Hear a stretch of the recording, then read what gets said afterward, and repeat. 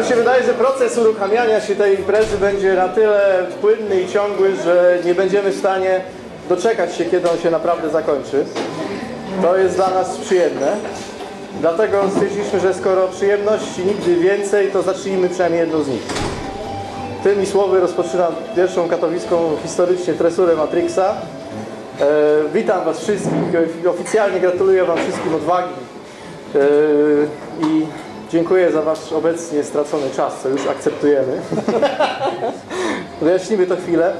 Miejsce, które tutaj e, tak e, wspaniałą zresztą organizacyjnie stroną zostaliśmy obdarzeni i ta przestrzeń, która się wokół nas zorganizowała nieoczekiwanie, osobowo e, pod wielokroć znajomie, a, też i nieoczekiwanie i, i nieznajomo do poznania dopiero.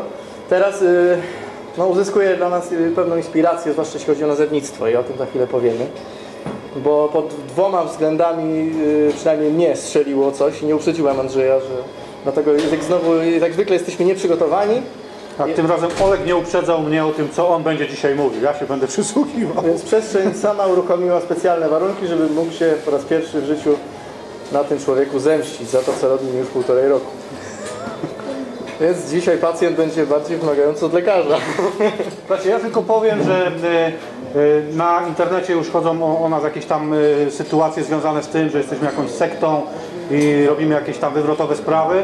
Także je- jeżeli e, ktoś nie jest przygotowany na to, żeby zmienić swoje życie, to jest to ostatni czas, żeby opuścić tą salę najlepiej i e, pozostać przy tym, co ma, bo e, Tak. bardzo możliwe, że, że po, po naszej e, tutaj e, jakby wizji świata może się okazać, że, że jego życie zmieni się całkowicie i niekoniecznie na początku w dobrą stronę, jakby się wydawało.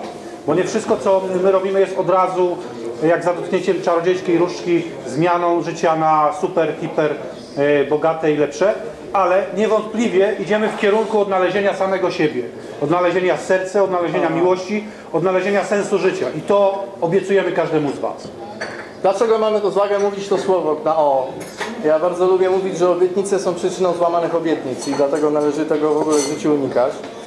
E, Ponieważ e, tak naprawdę w naszym przekonaniu cokolwiek się dzieje w tym momencie w naszej przestrzeni, łącznie z tym, co się u Was dzieje, jest wynikiem tego, co się dzieje u nas. Co się dzieje w naszym życiu. Więc y, tak naprawdę my to sobie sami obiecujemy. A stwierdziliśmy, że nasze wewnętrzne dziecko zasługuje na to, żeby te obietnice wreszcie do cholery zacząć spełniać. I dlatego sobie tym naszym dzieciom wewnętrznym obietnice spełniamy. Dlatego my teraz Wam obiecujemy, że zaaplikowane Wam zostanie, Wy sobie sami zaaplikujecie y, pewnego rodzaju y, substancję mentalną, która jest przeciwieństwem środków przeciwbólowych.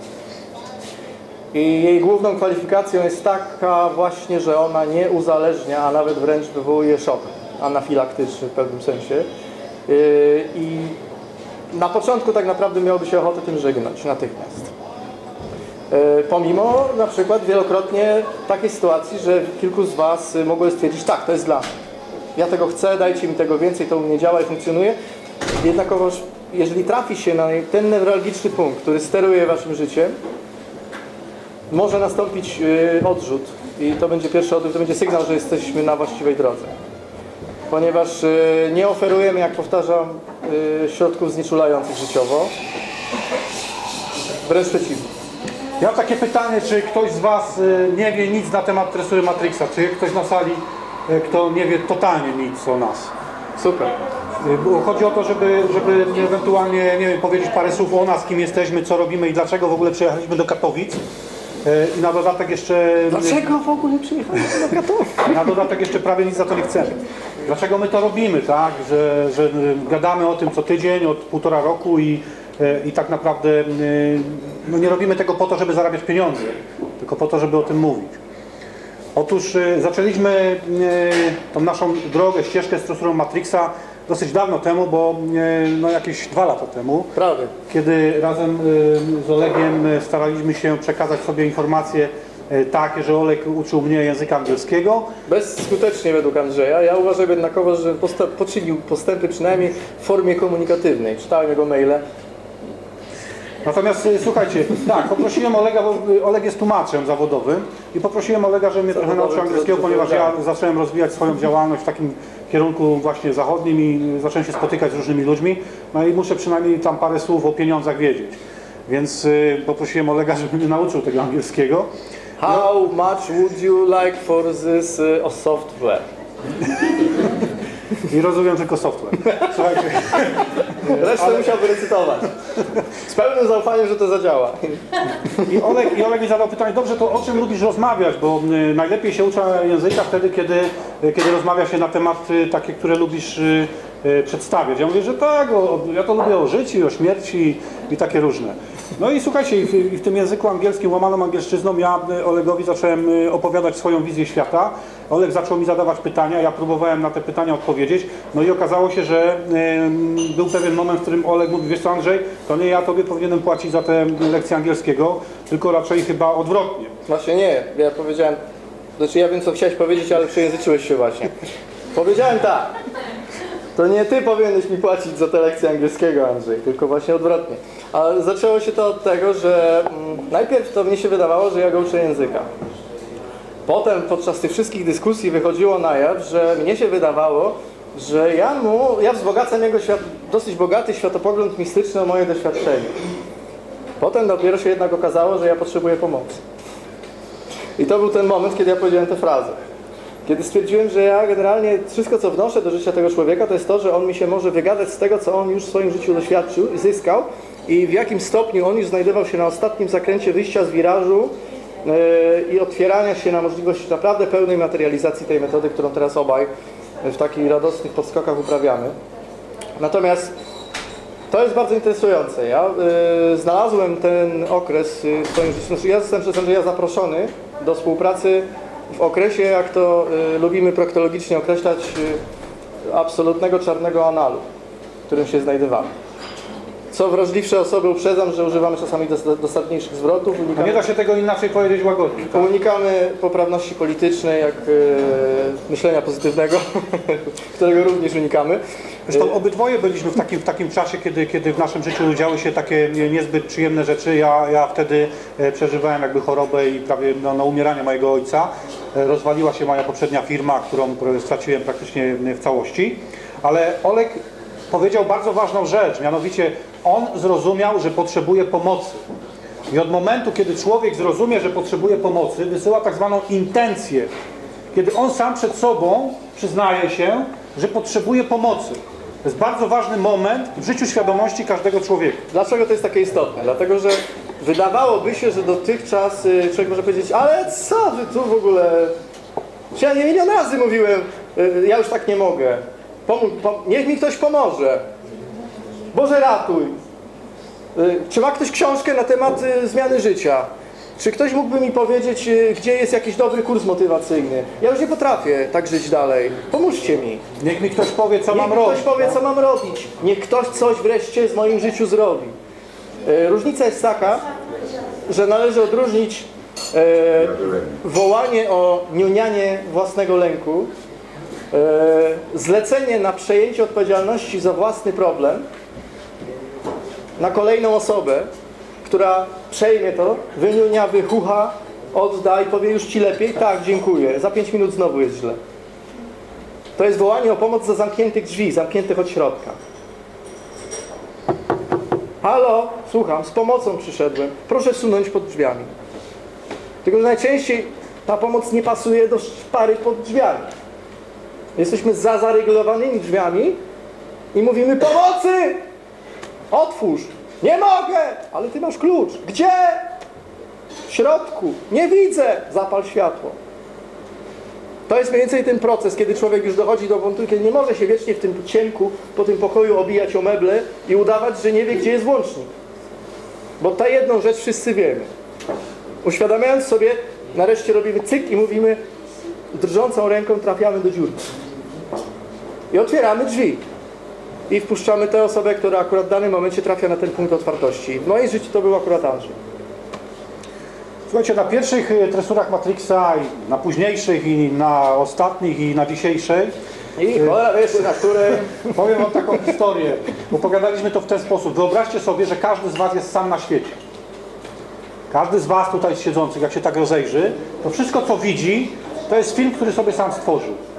Natomiast jedyną pewną rzeczą, której każdy z Was może być pewny, jest to, że jest. Ja mówię to na potrzeby zrozumienia mechaniki tresury Matrixa. Niech każdy z Was, powiedzmy na, na, na potrzeby tego dzisiejszego spotkania, wejdzie sobie w taki tryb bycia samym na świecie, a wszystko to, co widzi dookoła, to jest y, ym, wyprojektowane na podstawie tego, w jaki sposób myśli. Czyli w jaki sposób jego świadomość kreuje myśli. Zwróćcie uwagę, do jakiego stopnia to jest przewrotne, że wszyscy tutaj siedzący wymyśliliście sobie sytuację, w której centrum, wasz, wy jesteście centrum tej sytuacji, a siedzicie w tłumie. Standardowo tutaj ten woźny, zawsze zaraz określimy, kim on jest, e, bo też to jest jedno z części przekazu, mówi tak, Filunia, jak jest centrum świata, ja nim, żeby niby tego, tu, że ja niby, to ja tu mam siedzieć, nie? A nie tam. Otóż sytuacja jest tak przewrotna, że jesteście jedyną osobą, co do której macie pewność, że istnieje. I ta osoba właśnie siedzi tam. I tam jest centrum kosmosu. W tym momencie. My tutaj, tych dwóch pacanów, wydurniających się na scenie, opowiadających idiotyzmy, żłopiących herbatę z, cały czas tego samego czajnika i mających parcie na szkło, bo wiesz, że jeżdżą z kamerą, są wytworzeni w waszym świecie jest, i orbitują po waszym horyzoncie zdarzeń są wam dostarczeni. Eee, Ja jestem więcej niż pewien, że każdy z Was, każdy z tych ludzi, którzy, którzy tutaj w tej chwili są, e, w pewnym momencie swojego życia e, zrozumieli, że potrzebują pomocy, wyjaśnienia albo przynajmniej wskazania kierunku. Bez tego by Was tutaj nie było, ponieważ za chwilę wytłumaczę, jak działa ten nasz świat według profesora Matrixa i w jaki sposób to wszystko wokół Was się tworzy. Czyli wyobraźmy sobie, że centrum Waszego świata jest tam, gdzie Wy jesteście, nie tu, gdzie my siedzimy. Na pierwszych tresurach robiliśmy nawet taki numer, jak było nas jeszcze na tyle niewielu, e, że mieściliśmy się w, w sali wielkości trzech tych scen i e, tam było takie biurko, na którym siadał prowadzący. E, I na parę, nie wiem, na minutę, dwie każdego sadzaliśmy na tym miejscu i mówiliśmy, teraz sobie wyobraź, że jesteś stwórcą, że cała ta sytuacja jest z Ciebie wytworzona. I co Ty czujesz teraz?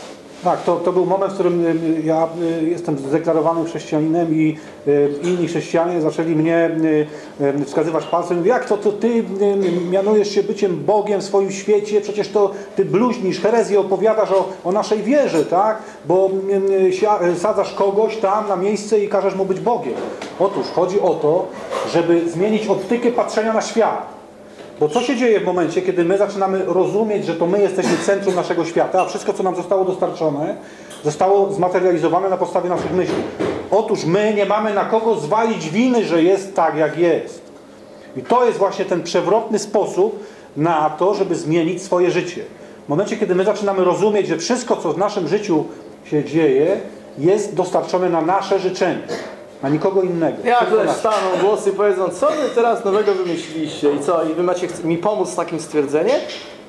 To kopię się leżącego. Ja mam tak prze, przerąbane, a wy jeszcze mówicie, że ja za to odpowiadam? Ja, taki normalny, fajny człowiek, który zasługuje na szczęście, ja odpowiadam za to bagnę, które teraz przeżywam i wy mi, chce, wy mi chcecie mówić, że mi, ta myśl ma mi pomóc? Dziękuję, do widzenia. My wtedy mówimy, do widzenia. Dlatego, że to oznacza, że ów człowiek nie jest jeszcze gotów na pracę na żywym organizmie. On potrzebuje znieczulenia. W naszym poczuciu oczywiście, bo to nie jest prawda absolutna to, co my teraz oferujemy tak naprawdę. To jest jedna z miliardów absolutnych, subiektywnych prawd. I nieprzypadkowość naszej tu konfiguracji, zdarzenia się, tych, ponieważ tak jak każdy jest centrum swojego kosmosu, to wszyscy tutaj jesteśmy światami i nasza tu zbieżność, połączenie naszych horyzontów zdarzeń jest e, efektem tego, że wszyscy sobie zażyczyliśmy takiego właśnie subiektywizmu jako naszej osobistej prawdy absolutnej. My dzisiaj będziemy też mówić o tym, w jaki sposób te e, niby światy, w których my jesteśmy sami i wszystko, czego do, do, do, doświadczamy, jest tworzone na podstawie naszych myśli. Jak te światy się przenikają i jak to się dzieje, że jeden człowiek spotyka drugiego i albo jest tak bardzo dopasowany w kwestii lęków, albo tak bardzo dopasowany w kwestii miłości. Jak to się dzieje, że energia sprawcza to wie e, i, i jak ona do tego doprowadza. Ale teraz troszeczkę o mechanice tego, jak myśmy doszli do tego, jak to można wytłumaczyć. Otóż my uważamy, że e, człowiek posiada coś takiego jak świadomość. Świadomość to jest miejsce, w którym powstają myśli. Inspiracja do tych myśli może pochodzić z dwóch miejsc. Jednym z tych miejsc jest umysł, czyli kalkulator, fizyczny organ, który znajduje się w czaszce, który odpowiada za bezpieczeństwo ciała i za bezpieczeństwo fizyki wokół nas. On rozumie doskonale fizykę. To jest tutaj gazdeczka, odnośnik. Jest kilka terminów, które ukuliśmy na określenie owego tu. Pierwszym jest cieć woźny, e, kalkulator pokładowy, komputer pokładowy, małpa chomik. Ewentualnie jest tutaj pomysłowość otwarta. Wszystkie aktywności, które opisują te słowa, mniej więcej opisują jego działanie. No, jest też takie stwierdzenie jak urodzony pesymista, tak? Tak. Y, Lub e, no, w przypadku zawodowy pękaj dupa. Tak. Ostatnio takie coś. Przy czym wcale nie jest to zła cecha, ponieważ chodzi o to, Podobnie. że zadaniem umysłu jest chronienie naszego ciała. Przed tym, żeby nie zostało uszkodzone, żeby e, nie narazić go na niebezpieczeństwo, żeby wiedzieć, jak poruszać się po fizyczności, po tym, co się dzieje e, e, tak naprawdę w tym świecie, który, który możemy dotknąć, powąchać, polizać, posmakować. Tak? On jest cieciem, on pracuje w realiach fizyczności, w której został wygenerowany i przetwarza naszą świadomość na potrzeby funkcjonowania w tym ciele, więc naturalnym jest, że wytwarza serię alarmów. Ale kiedy skupimy się na, tylko i wyłącznie na nim jako na centrum świadomości nie będziemy słuchać niczego innego, to my te alarmy będziemy odbierać jako absolutną i jedyną informację dotyczącą y, intencji co do tego, co chcemy przeżyć lub co do tego, jak świat widzimy. I te alarmy wtedy nie będą już pożytecznymi informacjami. Nie pchaj palca tu, nie właź tu, y, tego używaj raczej tak niż tak, pod tytułem nie pij zupy z gwoździa razem z gwoździem. Tylko odceć gwoździe. Tylko to już będzie wtedy traktowane jako tak zwany lęk, który jest bezpośrednim zamówieniem na sytuację, o której opowiada. Czyli jeżeli my naszej świadomości oddajemy e, intencje kreacji naszych myśli umysłowi, to my praktycznie cały czas się będziemy bali. To jest dobre w momencie, kiedy jakby te myśli dotyczą fizyczności, czyli wtedy, kiedy umysł mówi nie wkładaj ręki do ognia, bo się oparzysz. Tak? No to my wtedy kreujemy taką myśl lęku przed tym, że, że możemy się oparzyć i, i, i reagujemy na to w jakiś tam sposób. Ale w momencie, kiedy my oddajemy jurysdykcję tworzenia myśli umysłowi w obszarach emocji, no to wtedy zaczyna się właśnie ta jazda związana z tym, że nie jesteśmy zadowoleni z tego życia, jakie mamy. Ponieważ my, bojąc się cały czas, dostarczamy sobie takich sytuacji, w których będziemy się bali. Drugim źródłem dostarczania intencji myśli jest serce, czyli dusza, czyli energia, z której tak naprawdę stworzona jest nasza e, świadomość. Centrum świadomości indywidualnej. To jest ten punkt, do którego y, schodząc y, w nieskończoność do środka, do środka, do środka, w końcu mówimy ja. I to jest miejsce, dalej którego nie potrafimy sięgnąć świadomością dzisiaj w tym życiu. I to jest to, które czujemy, że jesteśmy. To jest źródło naszych emocji, źródło odczuwania. y, Podstawowych, elementarnych, bezpośrednich odczuć życiowych. W skrócie można to nazwać pełnym zaufaniem lub miłością. I my używamy tutaj bardzo często słowa miłość, ale to nie jest wcale miłość, którą my żywimy do drugiej osoby, tylko to jest miłość, która jest zaufaniem do tego, co sobie dostarczyliśmy. Czyli tak naprawdę to jest emocja, którą my żywimy do siebie samego. Tak. Tu się zaczyna tak zwana tabelka, czyli elementarne trzy dogmaty tresury Matrixa. Dogmaty. Tak, mamy sobie dogmaty ACA, yy, których pierwszy mówi o tym, że należy być mądrym egoistą. Czyli należy żywić miłość do siebie samego. Miłość do siebie samego wyrażana jako zaufanie do tego, kim się jest. To nie jest na zasadzie takiej, ja kocham siebie, więc wyrżnąć wszystkich, zabrać wszystko wszystkim, okraść wszystkich, najlepiej oszukać wszystkich, żebym ja miał więcej. To jest wyraz braku zaufania do siebie. Bo jeżeli mamy potrzebę wyżynania wszystko dookoła siebie, to znaczy, że nie żywimy zaufania co do bezpieczeństwa sytuacji, w której się znajdujemy, więc nie mamy zaufania do własnej przestrzeni, nie własnej kreacji, czyli nie mamy zaufania do siebie jako źródła tej kreacji. To nie jest egoizm, to jest panika, to jest posranie. Egoizm jest sytuacją, w której mówimy sobie, tak, to jest moje życie. Podoba mi się. To jest ten stan. To jest, y, ktoś mówi, ludzie, wy użycie miłości do siebie, czyli narcyzmu, tak? Ja mówię, nie. Narcyzm, jak to było? Ty miałeś fajną definicję. Nie pamiętam w tej chwili. To ja ją pamiętam, a, to już wiem. Narcyzm to jest definicja, y, to jest podtrzymywanie w innych poczucia bycia tak zarąbistym, jak chciałbym sam się postrzegać.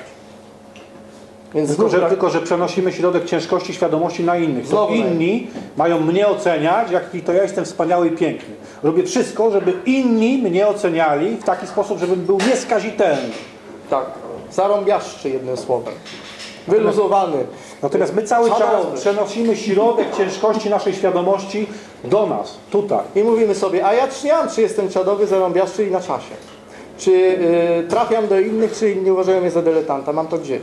Mam pełne zaufanie, że w moim otoczeniu znajdą się ludzie dokładnie w tym miejscu i w takim czasie i tacy, z którymi ja nawiążę kontakt energetyczny w taki sposób, z którego będę miał satysfakcję, z którego będę czerpał satysfakcję i oni również będą czerpali z tego satysfakcję. Więc- to jest to zaufanie. Ludzie, którzy, y, którą, y, którym pęży silnie zjawisko miłości do siebie, mówią, no wyjaśnij mi to jeszcze, żebym uwierzył w to jakoś, bo nie, nie trafia to. Miłość do siebie kojarzy mi się no totalnie z narcystycznym samozakochaniem, staniem przed lustrem, mówiłem sobie, no wiecie, generalnie rzecz biorąc, wczoraj byłem świetny, ale dzisiaj to przesadziłem.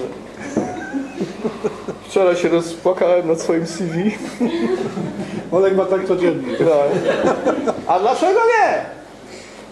Nie, ja wam tego życzę. Weźcie CV i zwróćcie się raz w życiu. Operator maszyny rozbiórki mięsa. Słuchajcie, ja nie potrafię obsługiwać takiej maszyny. Natomiast ja bym się wzruszył. Natomiast szczerze powiedziawszy, miłość do siebie, jakby je tak mimo wszystko nie stosowała tych wszystkich narzędzi, nie potrzebowała tych wszystkich akceptacji, jest niczym innym jak zaufaniem, które człowiek ma do własnego domu, w którym mieszka. Jeżeli ktoś chce wiedzieć, czym jest miłość do siebie, a nienawiść do siebie i czemu na przykład, e, dlaczego nie uważamy, że negowanie siebie, zniżanie siebie, wypieranie tam jakby, no nie, ja to nie istotne, wiecie, no, nie mówmy o mnie, jest tak naprawdę e, pewnego rodzaju samokłamywaniem się i jest działaniem szkodliwym, również dla wszystkich otoczenia. Ponieważ uważamy, że y, zawsze wtedy radzimy osobom, które mają z tym problem, żeby to zrozumieć, żeby spróbowały mieszkać w domu, co do którego wolałyby się raczej, raczej nie wypowiadać. Może nie mówmy o moim domu. Znaczy ja nie- generalnie nie lubię mówić o moim domu. Kuchnia jak kuchnia, wiecie, no. Ściany jak ściany, no tam, wiecie, podłoga. Szafki są, tak. Herbatę, no jakoś mam, tak. tak. Psa? Chyba mam psa. No pies jak pies. Nagle, a obok stoi inny człowiek, który mówi coś takiego. Mam taki dom, słuchajcie, mam, mam, y, y, y, mam ro- rosiczki na balkonie. Much? Nie ma. Słuchajcie, a drugi mówi, a ja mam piwolnię i petunię. Kwiaty polskie. I też jestem szczęśliwy. Dwie różne sytuacje. Dwa domy, które każdy mógłby ocenić. Tu oryginalny hodowca egzotycznych roślin mięsożernych, a tu proszę? Marides! Ale jeden i drugi jest zakochany w tym, gdzie mieszka. Ten w tej swojej śmierdzącej jamie, a tamten człowiek w tym oryginalnym, yy, tam, nie wiem, botanicznym terrarium. I mniej więcej to jest to, w jaki konstruktywny sposób ci oba, obaj ludzie podchodzą do własnego mieszkania. Mogą godzinami opowiadać o tym, jakie mają ściany, jakie malują, jak im się tam mieszka, jakich mają fajnych sąsiadów, że ich rano hejnał zawsze budzi, cholera. To jest miłość do siebie. To jest to samo nastawienie, które mamy patrząc w lustro, tak jakbyśmy patrzyli na własny dom i mówili, lubię tu mieszkać. Tymczasem nie da się tego osiągnąć szpachlowaniem sytuacji, w której my naprawdę tego domu nienawidzimy. Stojąc i mówiąc, lubię to miejsce, gdzie jest dynamit. Patrzymy w lustro i mówimy, kocham Cię chłopie, to raczej to, co mogłobyś Ciebie być, Ty idioto, gdybyś się bardziej postarał. To jest myślenie pozytywne i ono nie działa. Działa sytuacja, w której mówimy, Ty krzywozęby, kostropaty, śmierdzący, łysiejący, stary, pacanie, uwielbiam Cię. Trochę przesadziłeś, no ale. Wracając do, e, do mechaniki, e, ustaliliśmy, że e, nasza świadomość może czerpać inspirację do myśli z umysłu, czyli z fizyki, albo z duszy, czyli z serca, czyli z zaufania. I teraz jak to, jak to działa dalej, tak? Ponieważ my kreujemy sobie myśli, a świat wypełniony jest energią, która żywi się tymi myślami i ona odbiera te myśli jako intencję tego, co chcielibyśmy przeżyć w naszym życiu. Niezależnie jaką, uwaga, czyli nasze lęki są dla, nich, dla niej traktowane na tej samej równi, jak nasze pragnienia. Sytuacja pod tytułem chciałbym mieć piękny, cudowny dom, piękną rodzinę y, i sukces y, artystyczny jest traktowane przez przestrzeń jednakowym y, zamówieniem, jak sytuacja nienawidzę tej sytuacji, jestem do dupy malarzem, generalnie nikt mnie nie kocha, wszystko jest przerąbane, ale jak coś powiem, to wszyscy uważają, że to jest idiotyzm. To jest mniej więcej tak jak w, tym, w, tym, w, tym, w tej przypowieści, gdzie gościu jedzie w tramwaju y, i tak y, tą, tą głową waląc o tą szybę myśli, kurczę, znowuż jadę do tej niechcianej pracy, w domu y, nie ma pi- pi- pieniędzy, sz- szef jest bardzo niegrzeczny dla mnie, żona mnie nie lubi, dzieci mnie nie lubią, w ogóle generalnie jest do dupy, tak? No, A ten anioł stróż nad nim, nad nim stoi, ta energia sprawcza i tak się drapie po głowie, no, no trudne te życzenia są, ale no skoro chcę, to muszę je spełnić. Klient nasz pan. Klient nasz Pan. To jest taki kawał, który, kawał, przypowieść, która, która dokładnie pokazuje mechanikę tak, jak my rozumiemy świat. Jak my w tresurze roz, y, y, Matrixa rozumiemy świat, jak, jak on jest kierowany wokół nas, to my, tu jest źródło tego wszystkiego, czego doświadczamy. Są dwa bieguny. Pierwszy z nich mówi e, właśnie odnosząc się do tego, że my kopiemy leżącego, mówiąc wszystkim, którzy mają przerąbane, że są za to odpowiedzialni. Otóż nie. E, odpowiedzialność do kreacji życia polega na tym, że my rozumiemy, że nikt na zewnątrz i nic, żadna siła na zewnątrz, łącznie z tą wszechmocną energią, nie wie lepiej od nas, czego nam trzeba. I ona tylko czeka, ona jest wszechwiedząca, ale o tym nie wie. To jest tak jak z lokomotywą. Lokomotywa ma jechać. On, ją, ją, ją nie interesuje, gdzie jedzie, tylko cały czas dostaje parę w koła i ona zapiernicza po tych torach. A zwrotnicowym jesteśmy my. I pytanie, czym przedstawiamy zwrotnicę? Spanikowanym chomikiem, który się ciągle nie kończy droga. Czy też sytuacją, w której schodzimy do środka siebie, obserwujemy sytuację mówimy, nie, nie, nie, nie, nie, moment, ja tego nie chcę. Mnie zupełnie coś innego chodzi. I też istotna kwestia. Odpowiedzialność za siebie jest odruchowym sytuacją w momencie, kiedy zrozumiemy, że ta lokomotywa przestrzeni, ona nie rozumie lepiej o co nam chodzi. Jeżeli my wyślemy sytuację, boję się, chcę, to dla niej jedno i drugie oznacza chcę. I ona nie będzie mądrzejsza od nas i nie powie, a, on tego nie chce, bo się tego boi, więc tego mu nie dam. On tego chce, więc to mu dam. Nie, ona powie, on tym emanuje, proszę bardzo, on tym emanuje, proszę bardzo. I teraz co zrobić, żeby emanować tak, żeby dostawać tym, co chcemy dostawać, niż tym, czym nie chcemy. Otóż myśmy, myśmy odkryli, że e, e, człowiek ma e, tak zwane programy. Czy niektórzy to nazywają traumami, niektórzy to nazywają e, lękami, niektórzy to nazywają e, nie wiem, e, powtarzającymi się schematami w życiu, tak? I myśmy odkryli, że te schematy, te programy, te traumy są nam aplikowane w dzieciństwie. Czyli w momencie, kiedy w naszym życiu powtarza się cały czas ta sama historia, w tym samym otoczeniu, z tymi samymi rzeczami, że jedni na przykład mają cały czas kontakty z partnerami, którzy chleją, tak? Inni mają cały czas problemy z pieniędzmi i zawsze się zadłużają, czyli wydają więcej niż zarabiają. Inni Tak? robią wszystko dla wszystkich, a potem są wystawiani do wiatru, na przykład. E, Jeszcze inni są cały czas oszukiwani. Słuchajcie, te wszystkie wydarzenia mają swoje źródło w tak zwanych programach, które nabyliśmy w dzieciństwie. Myśmy wypracowali sobie metodę, w jaki sposób można dotrzeć do takiego programu, zrozumieć go i go zniwelować. Nazywamy to łapaniem mydła, bo y, to jest mniej więcej tak samo trudne jak łapanie mydła w y, zamydlonej wodzie. Jak się złapie za mocno, no jak się złapie za słabo, to nie poczujemy jak przecieka nam przez palce. Poza tym wkłada się rękę do mętnej wody i nie wiadomo czy złapiemy mydło. I za co złapiemy? Słuchajcie, to jest... e, No nie, jest taka- naprawdę, za różne rzeczy łapiemy, naprawdę. W tych rozmowach indywidualnych łapiemy za różne rzeczy. A Andrzej mnie generalnie mocno wymacał zanim y, zajął się innymi ludźmi. Tak. E, Powiem szczerze, to jest taki proces, który no my w tej chwili już robimy to codziennie z Olegiem. Tak. I robimy to przez internet, przez, przez Tak, robimy to codziennie, robimy to przez internet. telefon, spotykając się z ludźmi indywidualnie. Rzeczywiście można, można to określić jako właśnie taką sytuację, w której delikwent siedzi w wannie z mętną wodą, tam jest mydło, a my tam wkładamy łapę i na różne rzeczy możemy natrafić. Tak? Wszystkie śliskie. Ale tylko jedna rzecz jest mydłem.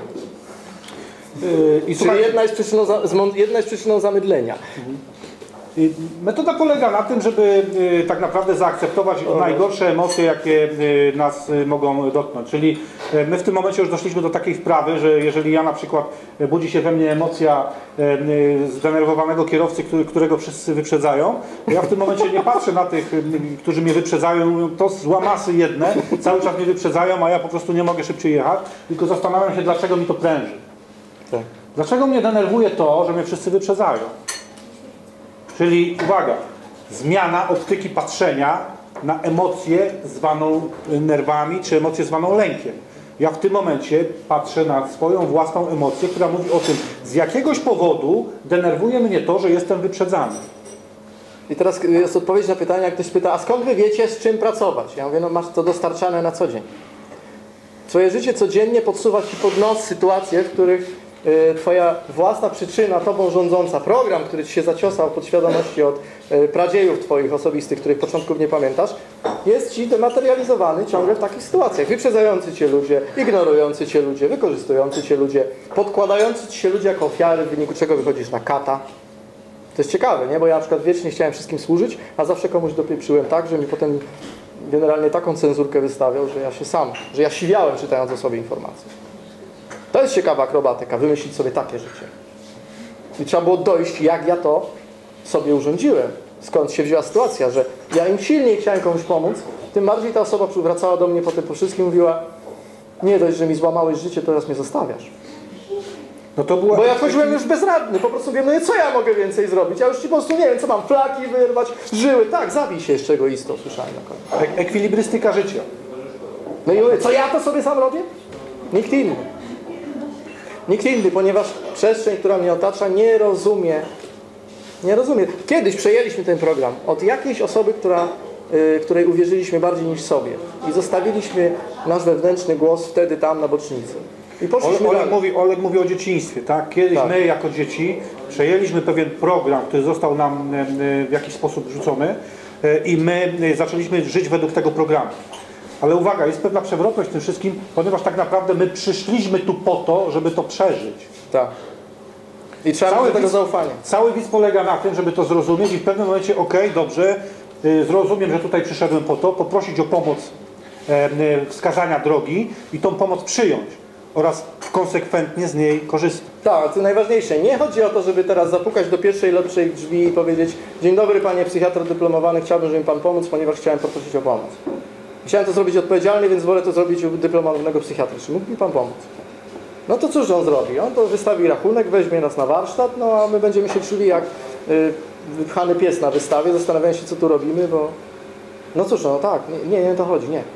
Nie chodzi o to, żebyśmy teraz na siłę ładowali komuś na kolana i wynajmowali sobie konkretnie jakiegoś specjalistę. Chodzi o to, żebyśmy poprosili o pomoc naszą osobistą przestrzeń w pełnym zaufaniu, że nadejdzie ta, której naprawdę potrzebujemy, a nie ta, którą ciotka powiedziała, wiesz, że ten psychiatra jest dobry. To musisz tam iść.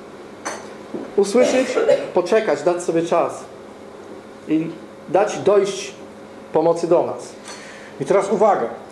Y, Ludzie prosząc o pomoc robią to y, na dwa sposoby. Pierwszym sposobem jest y, prośba o to, żeby polepszył się status materialny, tak? No bo zazwyczaj większość ludzi ma problem z, z, z byciem sobą, ponieważ jest, nie wiem, albo za mało pieniędzy, albo praca nie taka. Będę albo... się kochał, jak będę więcej zarabiał. Tak jest. Dopiero E, wtedy sobie zbuduję dom, Będę szczęśliwy, jak będę więcej pieniędzy. zarabiał.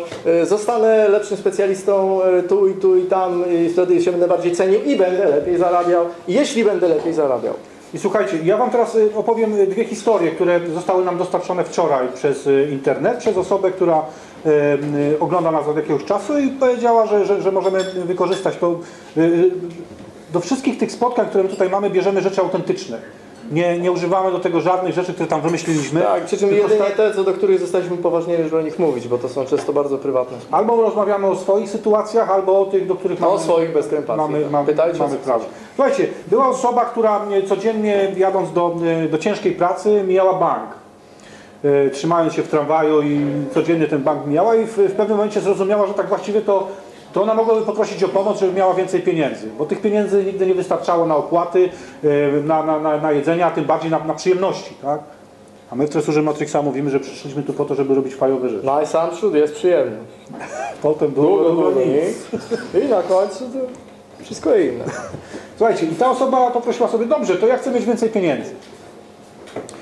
To, co się później działo, y, było y, dla tej osoby y, troszeczkę szokiem, ale z drugiej strony ona zrozumiała, że sama sobie tego zarzeczyła.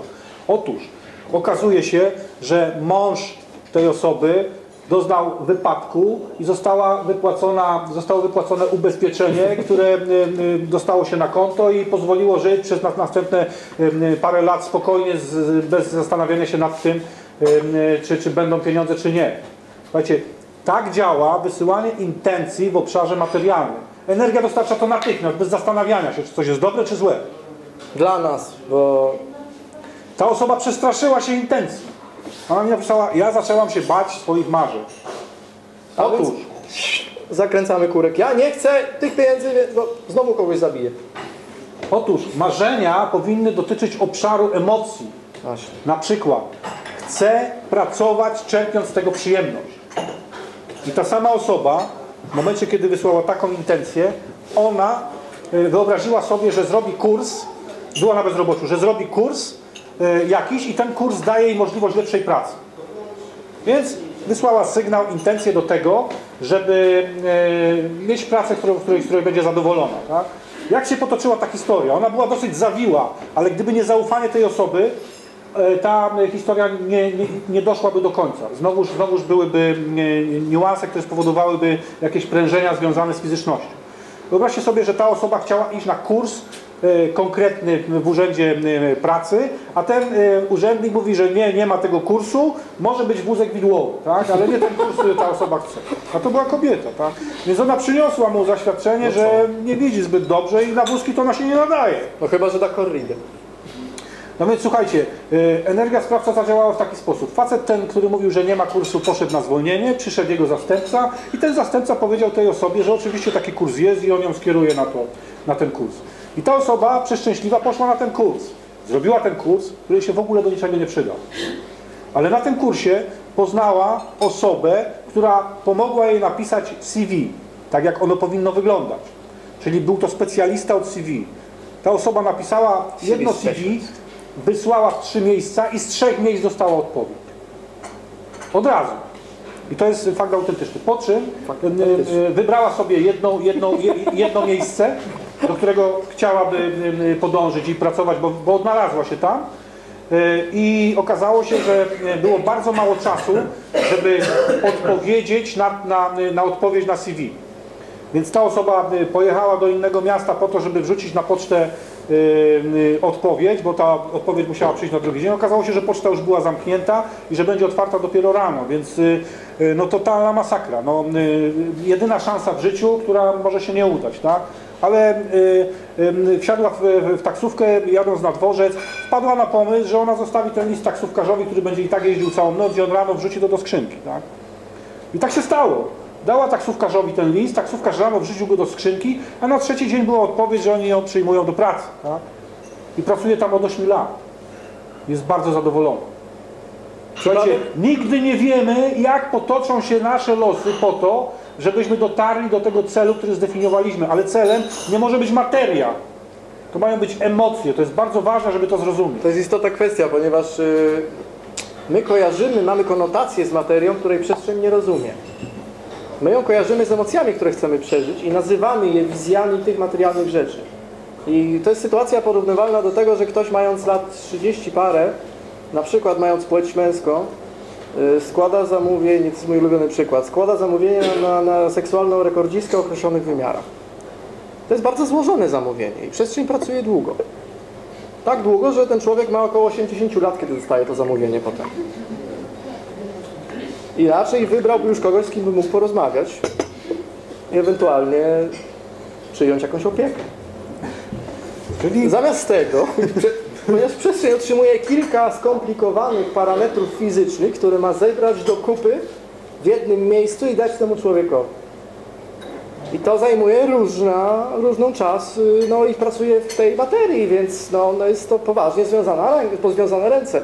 Więc no cóż, no nie wiem, no przeobracając sytuację, nie wiem, no, czy wykształcony brunet w stroju górnika, y, brudny i nieśmierdzący, y, idealnie się wysławiający o białych zębach i, i, i odciskach na palcach. Teraz.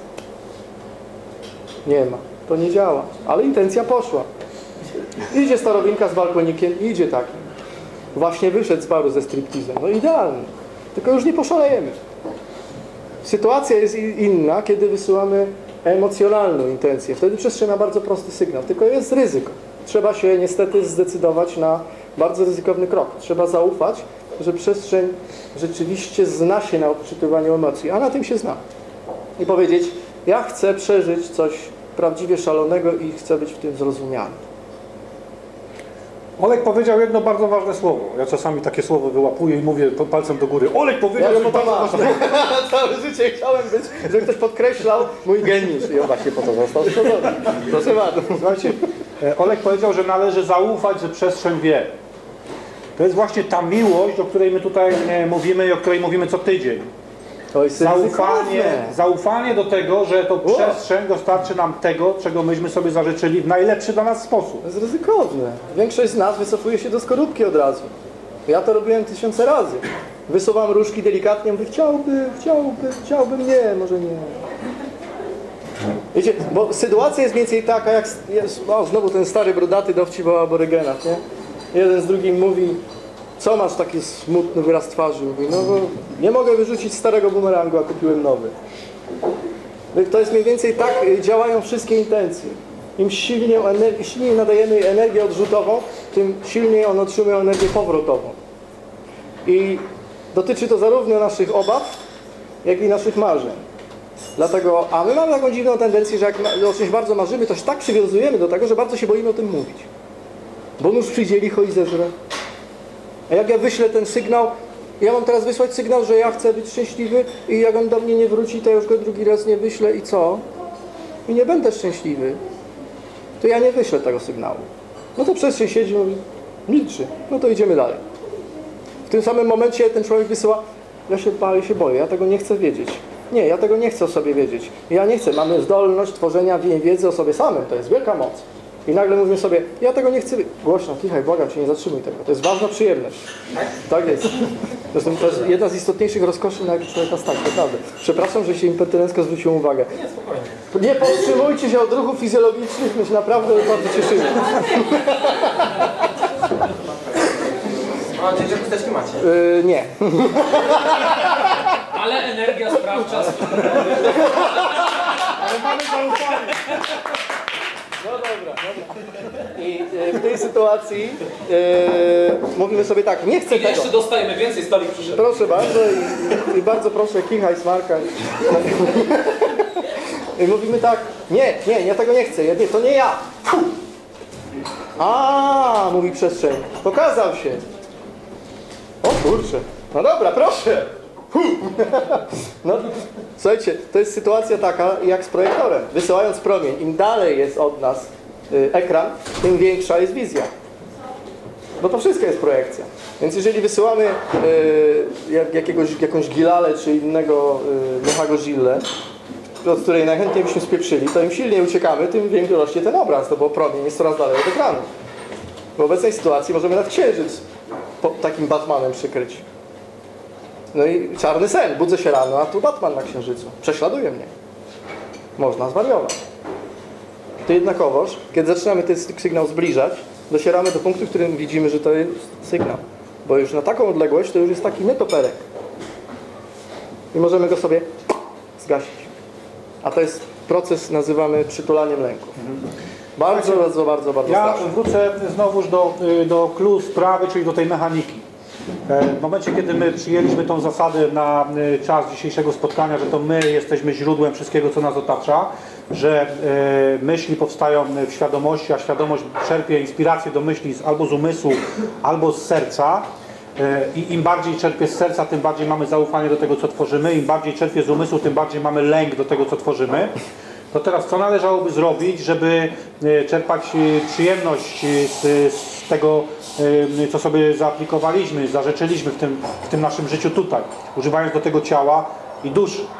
Otóż te lęki, które, których myśmy na, na, nabyli gdzieś tam e, w dzieciństwie, one są jak, jak warstwa e, takiego e, tłuszczu wokół, wokół serca, który, który to, to tłuszcz nie, dopuszcza energii do miejsca, w którym rodzi się zaufanie. Tak zwany tłumik.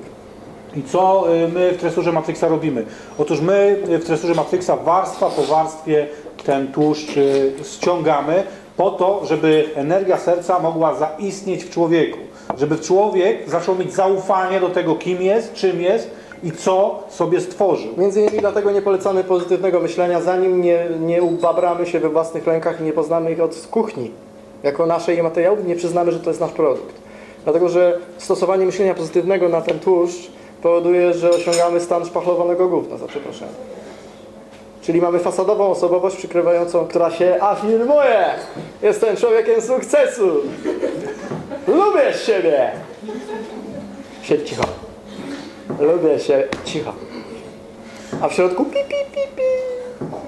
Dlatego myśmy nagrali taki film Myślenie pozytywne nic nie daje i zresztą na każdym spotkaniu również mówimy, że myślenie pozytywne, kiedy my to robimy na siłę, nic nie daje. Nie ma, nie ma szans, żeby człowiek, który się boi, y, mógł myśleć pozytywnie szczerze. Ponieważ myślenie pozytywne, i od razu się tu znowu wetnę, y, w sytuacji myślenie pozytywne z gruntu jest nadzieją, a nadzieja jest podskórnym, ukrytym, zamaskowanym lękiem. Która mówi, aby było tak, żeby nie było tak, jak się boję. Przez co wysyłałem podwójny sygnał. Chciałbym, żeby było tak, ale boję się, żeby było inaczej. Przez co stwarzamy wszystkie warunki do tego, że po pierwsze, możemy, stwarzamy zamówienie na jeszcze więcej sytuacji, w której możemy mieć dalej nadzieję. Dlatego nadzieja jest tak bardzo uzależniająca. Daj mi więcej nadziei. Koleś, masz jakąś działkę jeszcze, nie? To jest mniej więcej to, co się dzieje z człowiekiem uzależnionym od nadziei. Nic nie zmienia w swoim życiu, ale ciągle prosi o więcej nadziei, że może coś się zmieni. A z drugiej strony podskórnie wysyłany jest strach, który też wraca i zasila ten sam schemat. Bo haj się kończy i przychodzą lęki. Tymczasem. No mało tego, nadzieja jest zawsze skierowana do przyszłości, tak? A przyszłość nie istnieje. Istnieje tylko ta chwila, w której jesteśmy tutaj, teraz. My nie wiemy, co się za chwilę zdarzy, Tak jest. a to, co było przed chwilą, nie ma już żadnego znaczenia. Uwaga, nadzieja jest skierowana do przyszłości, która nie istnieje, a lęk, który za nią stoi, jest teraźniejszy. I on pracuje z teraźniejszą przestrzenią. I dostajemy ciągle w dupę z jednoczesnym szpachlowaniem sytuacji za okularkami, które mówią jutro będzie lepiej. A to, co my mówimy, mówimy prosto. Na pierwszej rozmowie. Zapomnij. Jutro będzie dokładnie tak samo jak dzisiaj, albo gorzej. I to właśnie dzisiaj trzeba zaakceptować. No więc słuchajcie, teraz się zaczyna ta groźniejsza część spotkania, ponieważ zaczniemy mówić o tym, jak, e, jak my sobie z tym e, radzimy, jak, jak pracujemy z tymi O lękami. miłości było, teraz będzie o odwadze. E, Ponieważ tak, no tabelka składa się z, z trzech słów. Nie dwóch, E, jednak. Do tej pory mówiliśmy o, o, o tym, o, o miłości, czyli o tym zaufaniu, o tym, w jaki sposób według nas pracuje. A teraz będziemy mówić o odwadze, czyli o tym, żeby spróbować e, no, ten tłuszcz, który, który obrósł nasze serce, w jakiś sposób pokochać. Tak? Jak, można, jak można kochać coś, co blokuje dostęp do energii serca? Jak, jak my nagle wyobrazimy sobie, że rzeczywiście to, to serce ocieka tym tłuszczem, a, a my musimy go pokochać, tak? Mamy dom i nagle widzimy składzik za strony pajęczynami. Schodzimy za na dół. Ja mam to kochać? To jest twój dom, kochany. Te pajęczyny są twoje i narosły. To są twoje pająki. Jeżeli chcesz się dowiedzieć, co się pod tym dzieje, musisz tam włożyć rękę. I to jest ten proces. Otóż tak, no, y, jeżeli ja zorientowałem się, że y, denerwują mnie wyprzedzający mnie kierowcy, ponieważ mnie wyprzedzają, czyli ignorują mnie, który tu jedzie, jak oni mogą mnie wyprzedzać. To jest naprawdę coś, co ja przerabiałem y, y, w pewnym momencie i podaję to czasami jako przykład, bo to jest, to jest dosyć ciekawe. Ale to, to jest odwaga więcej mówić publicznie teraz w sytuacji tak śmiesznie dziecinnej, prawda? To, ta odwaga nie jest, y, nie ma wzorca bohaterstwa.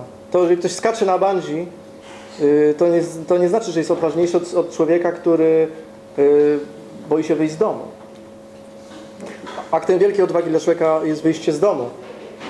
A ten, który skacze na bungee może bać się myszy. I bać się o tym powiedzieć. Słuchajcie, ja poprosiłem o pomoc, o wskazanie y, drogi i wtedy tam za tą kierownicą została mi pokazana emocja, która mówi o tym, że ja nienawidzę, jak jestem ignorowany. Olek cały czas to robi, ale mnie już to w ogóle, nie, ja, ja się nie przejmuję. W tej chwili, bo to przerobię. Ja zostałem mu po to dostarczony. Mówisz coś w ogóle? Tak. On mi się zawsze wcina, a ja po Tak, prostu, kiedyś mnie to prężyło. O tak, jeszcze widziałem. Ale słuchajcie, wróćmy do tej historii. Ja poprosiłem o, o pomoc, żeby, żeby mm, energia sprawcza pokazała mi możliwość poprawy mojego dostępu energii do, do, do mojego serca. Moim lękiem było y, y, to, że ludzie mnie ignorowali. I to ignorowali mnie na każdym kroku, wszędzie, zawsze. No i przychodzi baba do lekarza. Jesteś? I, słuchaj, i, I słuchajcie, nagle za tą kierownicą ja zrozumiałem, że to jest lęk przed ignorancją. Właśnie wtedy, kiedy mnie wyprze, wyprzedzali ci kierowcy. Ja przestałem się zastanawiać nad tym, że oni mnie wyprzedzają. Zwolniłem sobie, zjechałem na bok i zacząłem się zastanawiać nad tą emocją, nad lękiem przed ignorancją. I ja wtedy dopuściłem do siebie taką myśl, że akceptuję to, że zawsze będę ignorowany. Zawsze będę czuł się jak ten zbity pies, zawsze będę słabszy i zawsze będę zostawał w tyle, zawsze będę zignorowany przez całe życie, codziennie. Od tego momentu, kiedy to zaakceptuję. To jest właśnie ta odwaga, że ja zgodziłem się na to, że już codziennie, w każdej minucie będę ignorowany, czyli coś, czego najbardziej się bałem. Ja dopuściłem to do swojej świadomości. Zgodziłem się na to. I podkreślę jeszcze ważność tego, co powiedziałeś. Proszę. Powiem dokładnie nawet, że powiedziałeś coś bardzo istotnego. Nie, nie robię ja. Mówię poważnie. To była bardzo istotna informacja. Że odwagą nie jest zrobić y, to, co człowiekowi przychodzi łatwo, nawet jeśli to jest coś bardzo trudnego i, że, i wymagającego ryzyka. Na przykład wyjść przed publikę i zacząć się wydurniać. Ja tutaj robiąc to nie ryzykuję nic. Ja się zawsze lubię wydurniać. Mnie to nic nie kosztuje. Bliskie mi osoby prawdopodobnie mówią, ty jesteś nienormalny. Ja y, zżygałbym się trzy razy w kiblu, zanim, zanim, zamiast tego usiąść na twoim miejscu i jeszcze do tego mówić wszystko z siebie, bez kartki, nie cytując ważnych autorytetów i statystyk, ryzykując, że się poplujesz, nie, nie myśląc o tym, jak się ubierzesz wcześniej. To akurat widać. Ja zawsze myślę. Tak. Nie ustawiając głosu, nie dbając o gesty. Nie, nie idąc do Tymochowicza na kurs 3, 3 tygodniowy wcześniej, zanim odważy się w ogóle iść ludzi. Ale misja jednak mimo wszystko, prawda? Tymczasem odwagą jest y, zrobienie dokładnie tego, czego się obawia. Osoba, która nie boi się wystąpień publicznych, może mieć paraliżujący lęk przed przyjęciem odpowiedzialności za czyjeś życie, na przykład. Ona może nie bać się tego, że ona gada i gada i gada i gada i gada. Wszyscy wyjdą, ona dalej gada, przyjdą nowi, ona dalej gada.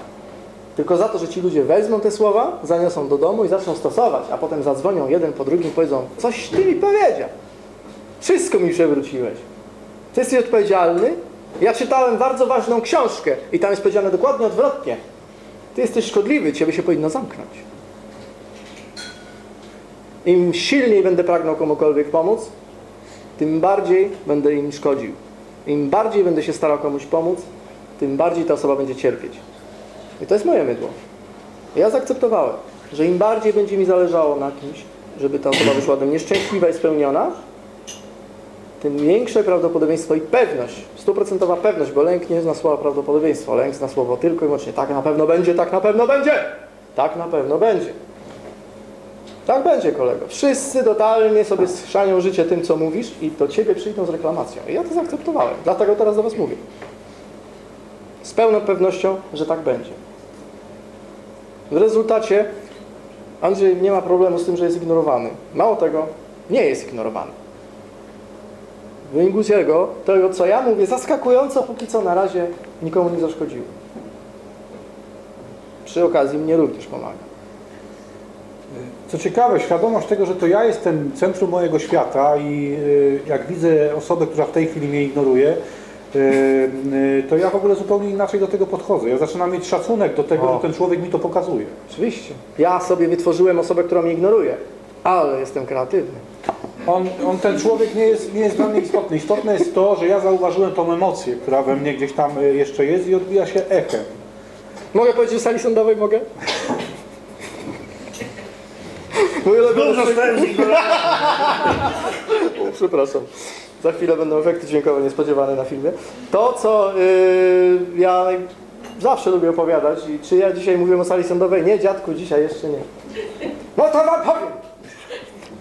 To była taka sytuacja, że no, mając swoje zmagania z systemem podatkowym, niekoniecznie jako młody przedsiębiorca, jeszcze wtedy młody, miałem, no uzyskałem pewne zobowiązania, co do których nie byłem w stanie być w 100% wypłacalny. W wyniku czego doszło do sytuacji, w której y, y, trzecia władza postanowiła y, zaprosić mnie na jedną z sesji. Szczerze mówiąc, używam tak pięknego języka, dlatego że ja to tak przeżyłem. To było początki tresury Matrixa. Ja jeszcze nie, niespecjalnie poradnie sobie z tym używałem, ale pamiętam to jak dziś, dlatego że to było strasznie rewolucyjne przeżycie. Zwykle w tuleniu lęków chodzi o to, żeby nie y, iść w sytuację fizyczną, w ciemną bramę, żeby dostać w ryj, specjalnie bankrutować, żeby wiedzieć jak to jest, y, czy nie wiem, wiązać się z kimś, kto nas y, w nocy może zabić, żeby wiedzieć jak to jest ryzykować życie z kimś, kto sypiając z wrogiem, prawda? Nie chodzi zupełnie o takie rzeczy. Nie, nie, tu słuchajmy alarmów pod tytułem nie śpij z kimś chorym na AIDS. Koniec. Nie To jest fizyka. To jest fizyka. To, to dotyczy bezpośrednio ciała. I wtedy umysł rzeczywiście działa. Tak, i ma wtedy działać. należy mu oddać pierwszeństwo w podejmowaniu decyzji. Tak jest. Sygnału, wysyłaniu sygnałów. Natomiast e, tresura Matrixa pracuje z lękami na etapie ich intencjonalności. W momencie, kiedy one powstają i zaczynają generować świat jeszcze w ciele przyczynowym. Czyli to jeszcze nas nie dotknęło, a my już tak się posraliśmy, jakbyśmy 30 razy to przeżyli. I to, i, i to jest częstokroć y, trudniejsze od tego przeżycia, kiedy już to naprawdę nastąpi. I to przeżycie dotyka nas trzy razy dotkliwiej, dlatego że my już jesteśmy tak wyczerpani tym lękiem.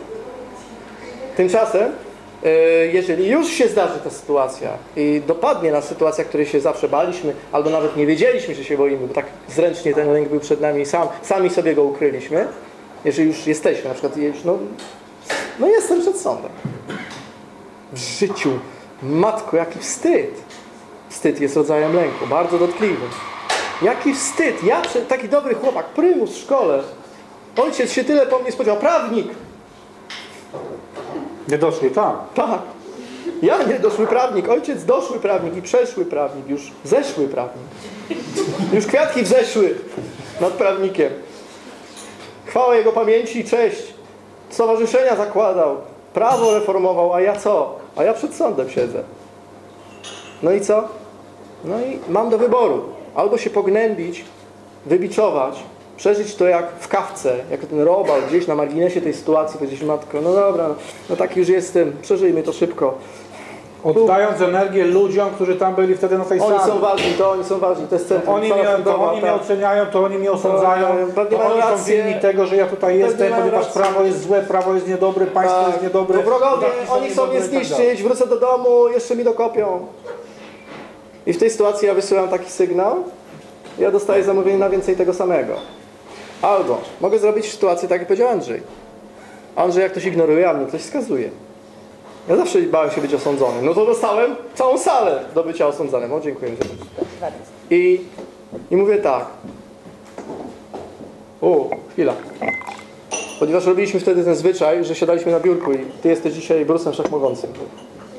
No to ja mówię, no to zoom do siebie. Oleg jest cały czas na sali y, tej sądowej, tak? On opowiada, jak się czuł wtedy, kiedy tam siedział i kiedy pani prokurator odczytywała różne rzeczy. Ta, a ja, ja tak siedzę i nagle zacząłem, stwierdziłem, ale zaraz to ja stworzyłem tę sytuację, a co mi szkodzi? Już mnie to dotknęło. Nie, no to dobra, no to no to, to obejrzyjmy to jak film, który reżyseruje. Akcja! I wtedy nagle obserwuję, że pani prokurator ma świetny makijaż. I ma kapitalną ekspresję.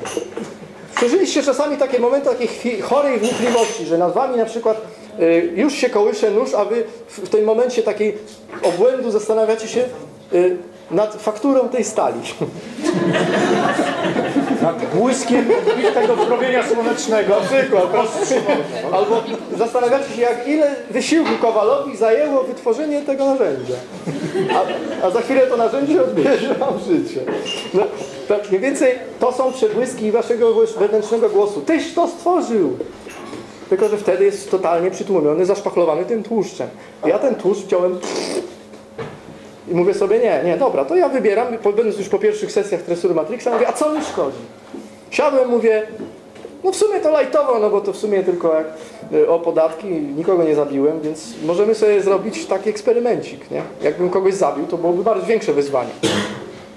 Ja tutaj wstawię taką wstawkę czysto praktyczną. W momencie, kiedy czujemy się zagrożeni, którym się, w momencie, w którym czujemy się dyskomfortowo albo czujemy, że wzrasta w nas złość, dobrze jest przejść w tryb tak zwanego świadka Tak. i obserwować siebie jakby z boku. Włączyć sobie taki tryb obserwacji tego, co się dzieje w naszym życiu. To bardzo pomaga. Mało tego, wtedy jesteśmy w tu i teraz, tym słynnym, które tak bardzo jest ostatnio mm, promowane. I i wtedy jesteśmy najbardziej bezpieczni, jak tylko możemy być, ponieważ mamy świadomość każdej sekundy, która jest. Nie jesteśmy ani w przeszłości, ani w przyszłości. Doświadczamy tego czasu, w którym właśnie jesteśmy. Tak. To jest ten moment, w którym mamy panowanie, pełne panowanie naszej świadomości nad tym, co się dzieje w naszym życiu w tym momencie, w tej chwili. I mając tę świadomość świadka, należy puścić wszystkie nitki i stracić kontrolę nad swoim Obserwować to, co się dzieje. Nie chodzi o to, żeby się usztywnić, mówię, jestem świadkiem swojego życia. Trzeba robić to, co mamy zrobić. Jeżeli ktoś siedzi akurat na kiblu, to niech robi dalej to, co robi, bo jeżeli nie zrobi, to będzie problem. To będzie tak? problem, to czego chcesz być świadkiem, skoro nic nie robisz, prawda? No, to jesteś... Ale pociągnęliśmy temat. No, zwykle, no. Szczerze mówiąc, zawsze wszystko do jednego sprowadzimy. Natomiast wróciłem, wracam? Tak. Ja mam pytanie właśnie odnośnie tych e, akceptacji tych emocji, e, ponieważ czasu e, mam przyjemność Was jakby właśnie tutaj słuchać i mogę też podać jakby przykład z mojej historii, gdyż jakby całkiem jestem odrzucona przez mężczyzn, tak? To może ja proponuję zrobić coś takiego. My doprowadzimy spotkanie do końca. Możesz to trzymać? I potem, jeżeli będzie ktoś chciał coś powiedzieć, to Kolega bardzo, będzie musiał jechać za niedługo, więc... To w takim razie zapraszamy tutaj do nas, usiądź i powiedz po prostu wszystkim tak, żeby wszyscy słyszeli. Bo tak to my słyszymy, ale Teraz ty jesteś brusem wszechmogącym. Proszę.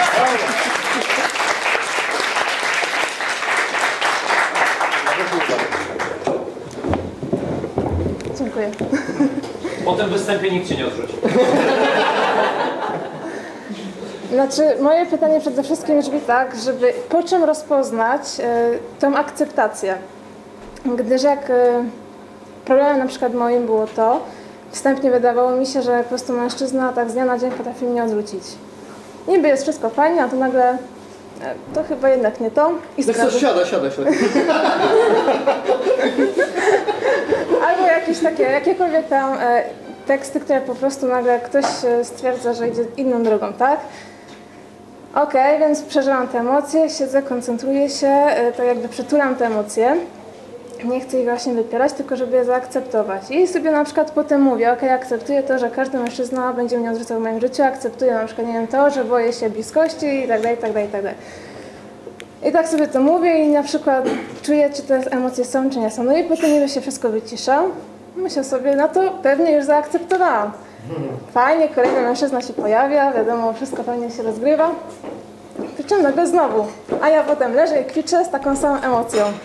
Ja mam takie pytanie, bo słuchajcie, my w momencie, kiedy pracujemy z lękami, e, to skupiamy się na tym, ja i Olek, kiedy pracujemy z lękami i innymi ludźmi, skupiamy się na tym, kto coś do nas mówi. Ty powiedziałaś taką bardzo istotną rzecz, na którą ja zwróciłem uwagę. Otóż ty mówisz, że poznajesz kogoś, jest związek i potem nieoczekiwanie, nagle on mówi, że, y, że zakończa związek, tak? Tak. Czyli uwaga, nieoczekiwanie. I dla mnie to jest kluczem. Ja skupiłbym się w tym momencie nad lękiem przed nieoczekiwanym.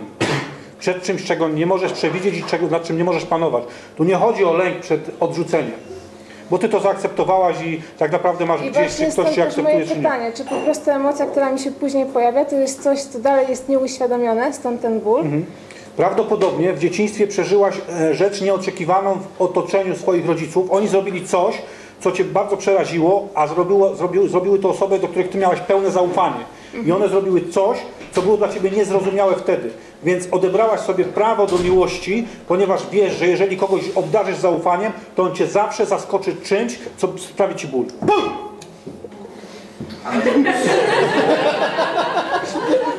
O właśnie, Należało, należałoby zaakceptować moment taki, że zawsze osoby, które będziesz kochała, sprawią ci ból w najmniej oczekiwany sposób. Czy jesteś w stanie to powiedzieć teraz? Akceptuję to, że wszystkie osoby, które będę kochała i które mnie kochają, sprawią mi ból w najmniej oczekiwanej sytuacji. Tak, no jestem w stanie zaakceptować to, że osoby, które będę kochała, będą mi jakby stwarzały ból w najmniej oczekiwanym momencie. Okej. No i teraz zaś moje pytanie jest takie, Muszę zapalić świecę. e, ponieważ e, ja czasem tak sobie mówię, po każdej sytuacji. Tylko w tym momencie, czy to nie idzie przypadkiem właśnie z tego kalkulatora, z tej logiki? Wszystko zależy od tego, co czujesz w momencie, kiedy sytuacja zdarza się następnym razem. Czy w momencie, kiedy pokochasz kogoś i ten ktoś znowu w najmniej oczekiwanym momencie mówi ci, wiesz co, mam ciebie już dosyć, odchodzę od ciebie, to wszystko zależy od tego, co ty wtedy czujesz. Czy mówisz, okej, zaakceptowałam, to tak miało się dziać, czy znowuż mówisz, nie, no znowuż nie zadziałało, nie zrobiłam tego dobrze, nie zrobiłam tego źle. być inaczej. Tak, ale ja na przykład nie wiem, czy ja się sama siebie nie oszukuję, tak? Bo ja sobie wtedy Na mogę pewno. powiedzieć. Powiedz sobie, że zawsze oszukujesz sama siebie. Akceptuję to, że oszukuję sama siebie. Zawsze. No i właśnie teraz Powiedz tak mi to. powiem. Akceptuję to, że zawsze samą siebie oszukuję. Proste. Ale ja to powiem, a to tylko zrobię. Słuchaj, je- jeżeli następnym razem poczujesz, że mogłaś siebie oszukać, to powiedz tak, ja zaakceptowałam to, że sama siebie oszukuję. Akceptuję to, że w moim życiu to jest. Tylko jeśli chodzi o to, że ja to powiem, ale nie wiem, czy to nie jest to, że idzie po prostu z logiki, nie? Idzie prosto z logiki. Zaakceptuj to, że nie masz serca i y, y, twoim życiem rządzi tylko umysł. Ale akceptuję to, że nie mam serca, tak? Rozumiesz? Trzeba, trzeba, trzeba iść za ciosem. Słuchajcie, praca z, rękami, praca z rękami polega na tym, że skupiamy się na emocjach i idziemy y, do końca. W momencie, w momencie, kiedy byśmy doszli tam gdzieś do sedna sprawy, okazałoby się, zresztą popracujemy nad tym, nie lubię pracować z pięknymi kobietami, y, bo wtedy nie mogę się skupić. Słuchajcie, y, gdybyśmy doszli tam, gdybyśmy doszli tam głębiej, okazałoby się, że rzeczywiście gdzieś w dzieciństwie był, y, był moment, w którym y, y, y, zaufanie nadwyrężyli y, rodzice, czyli te osoby, które dla nas są najważniejsze. Powiedz mi, jak wyglądało Twoje dzieciństwo, relacje z mamą i z tatą? Ja się rozluźnię, bo to było. Inaczej, czy akceptujesz to, że oni są Twoimi rodzicami i że Twoje życie pochodzi od nich? Tak, akceptuję to. Dobrze. Powiedz mi, Ja y, teraz, jak, bo mi przyszła taka myśl, czy przypadkiem e, nie wynika to z tego, że ja się na przykład boję zaangażowania. Bo to zauważam, że to czasem ja pierwsza uciekam, a potem tylko ten ktoś realizuje już definitywnie. ale ja zadałem konkretne pytanie o rodziców. W jaki sposób, w jaki sposób y, odbywały się Twoje relacje z rodzicami? Czy No to wczesne dzieciństwo, no to odczuwałam jako brak takiej miłości, nie? brak miłości? A dlaczego Ty to tak odczuwałaś? No ja już nie pamiętam jako, bo już idę tam bardzo głęboko. Mhm. I w, I w nie? tym momencie y, y, ja zazwyczaj y, robię y, taką akcję, w której y, y, próbuję wprowadzić y, człowieka, z którym rozmawiam, y, w taki obszar swojego dzieciństwa. Czyli mówię mu na przykład, masz teraz okazję przenieść się w czasie, jako dorosła osoba, do swojego dzieciństwa. Do miejsca, w którym jest ta mała dziewczynka, która tam y, coś robi. Powiedz mi, gdzie energia Cię przeniosła teraz tutaj? Gdzie siebie odnalazłaś? Moja pierwsza wizja? Tak, od razu. Że ty nawet chyba roku jeszcze nie mam leżę w łóżeczku. Co robisz w tym łóżeczku? Płaczę, A dlaczego płaczesz? bo nikogo nie ma. Lęk przed samotnością. Zaakceptuj to, że do końca życia będziesz samotna. Akceptuję to, że do końca życia będę samotna. Okej. Nie no, ja jestem z Ciebie strasznie dumny. Bo, szczerze powiedziawszy, ja Ci, ja ci naprawdę gratuluję. Dziękuję.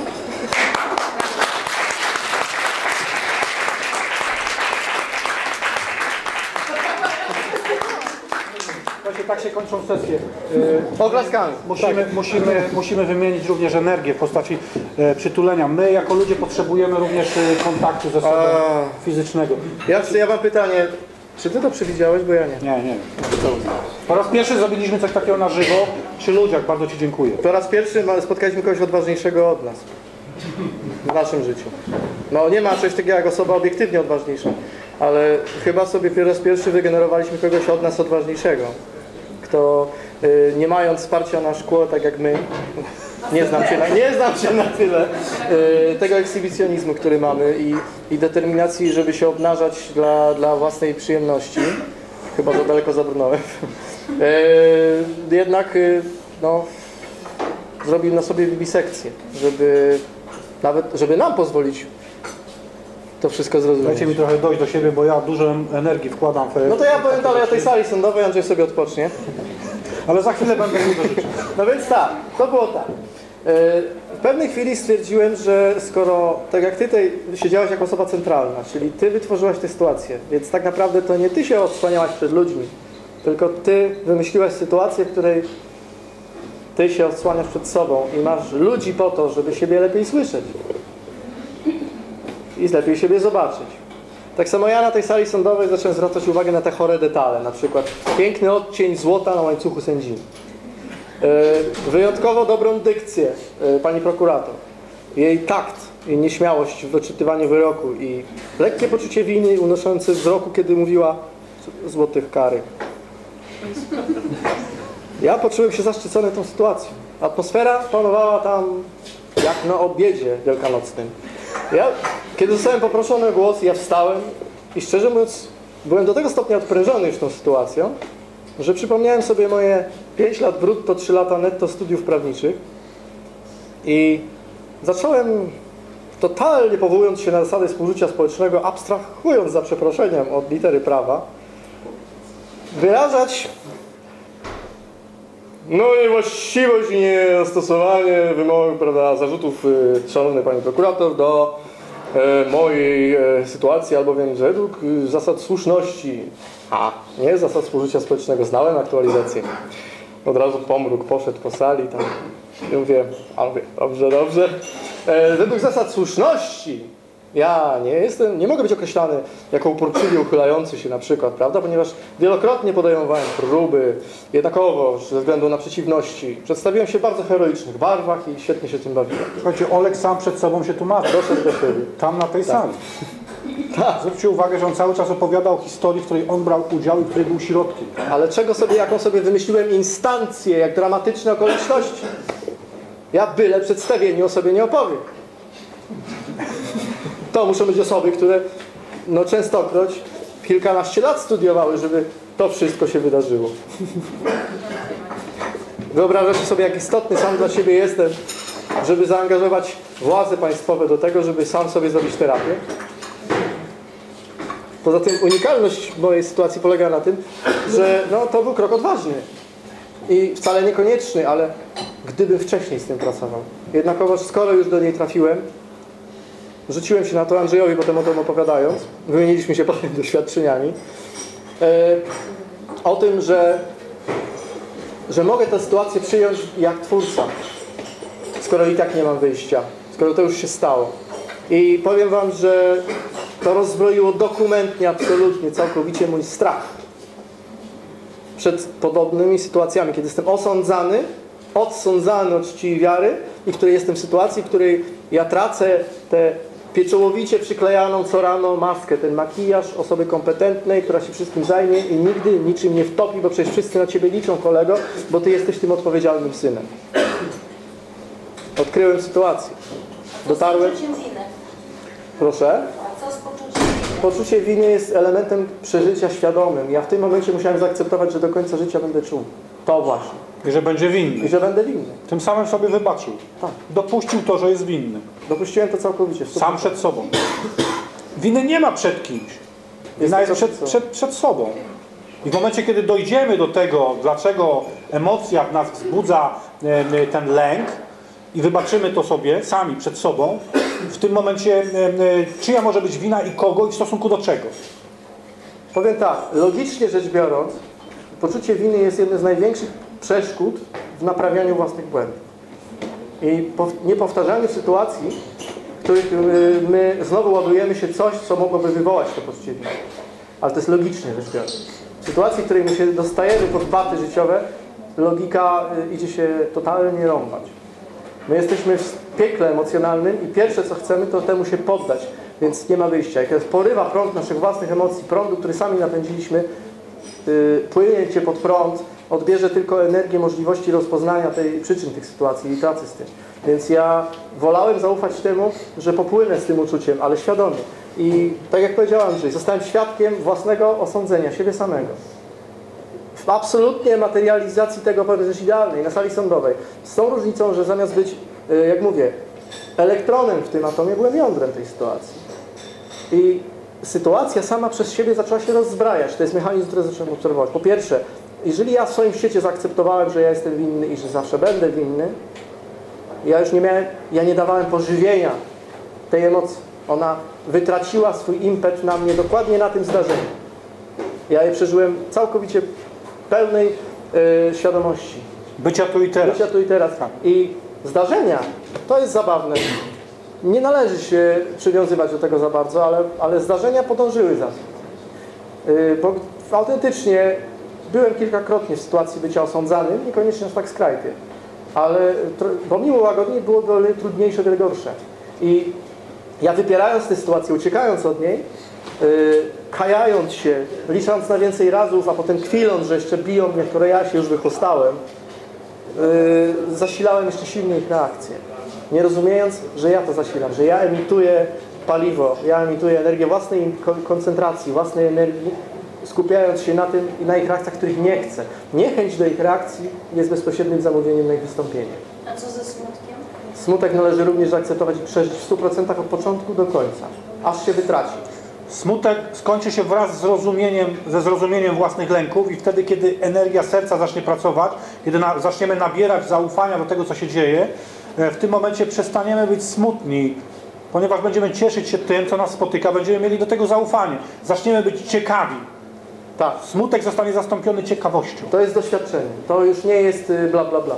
Czyli chcecie powiedzieć, że w ogóle nie, nie, nie smucicie się, nic was. Oczywiście, że nas smuci. Ale rzeczywiście, Tak, są sytuacje, które... my pracujemy z tym cały My czas. mamy kilkadziesiąt lat doświadczeń poprzedzających to odkrycie, które nas y, w tym momencie zaskoczyło. A propos Eureki, w której się znajdujemy. Daliśmy sobie prawo do bycia zaskakiwanami do końca życia. Ponieważ tylko w ten sposób jesteśmy na tyle, na tyle w stanie się odważnie otworzyć na wszystkie możliwe odkrycia, żeby mieć na tyle duże zaufanie, żeby być bezpiecznymi w rozbrajaniu tych min i tych bomb zegarowych, które w nas się wydarzają. Które będą się wydarzać. Będą się wydarzać i my mamy do tego absolutne przekonanie. Z tą różnicą, że my obserwujemy teraz, jak w procesie tego rozbrajania jest tam z tym coraz prościej, coraz łatwiej. Ponieważ jesteśmy już troszkę jak ci samuraje, którzy dalej strają majtki przed bitwą, ale, yy, ale idą do przodu. Idą do przodu. Kłamie każdy, kto mówi, że nie boi się ż- konfrontacji z własnym życiem i tego, co sam sobie na, napaćkał. Każdy się boi. Z tą różnicą, że no ja, Niektórzy m- mniej, inni więcej. mniej więcej. A I to, sytuacja... i, to, I to jest to wyważenie. Lęki są potrzebne po to, żeby zachować pewną świadomość y, przestrzeni fizycznej. Bez lęku byśmy jej nie, nie, Potem się pojawia właśnie ta funkcjonalna świadomość, że lęki są potrzebne. Jakie co wy te... Całe życie gadacie, że lęki są przeszkodą, tłumikami, a teraz gadacie, że są potrzebne. Lęki są przeszkodą wtedy, kiedy są traktowane jak nasza własna informacja o sobie. Jak całkowicie determinują energię, z której my czerpiemy em, y, przy, przyjemność lub brak przyjemności z życia. Tak. Kiedy całkowicie lęki zawładną naszą świadomością, no to jak to życie może wyglądać? No rzeczywiście, pe- pasmo y, Nieszczęść. kar i nieszczęść i, i, i, żali w stosunku do siebie. Z perpetuum mobile zamówień na więcej. Im silniej tego nie chcemy, tym lepiej to zamawiamy. Natomiast, no więc no cholera, tylko się powieść. Najgorzej, że samobójstwo tego w ogóle nie kończy. Mamy takie przekonanie. Natomiast yy, yy, zgoda i otwartość, ona pozwala wytracić się prędkości tego zamówienia. I jak yy, lęki wtedy zaczynają się jawić w tej nag- nagiej postaci, a nie tej "Ua!" tam, tam to przed oczy. Niezrozumiały. Pod tytułem, wiesz, o koleś uważaj, nie wychodzi z ciągłych rzeczy. Gdybym się kierował lękami, próbując zejść ze sceny, to zrobiłbym tak. Brawo.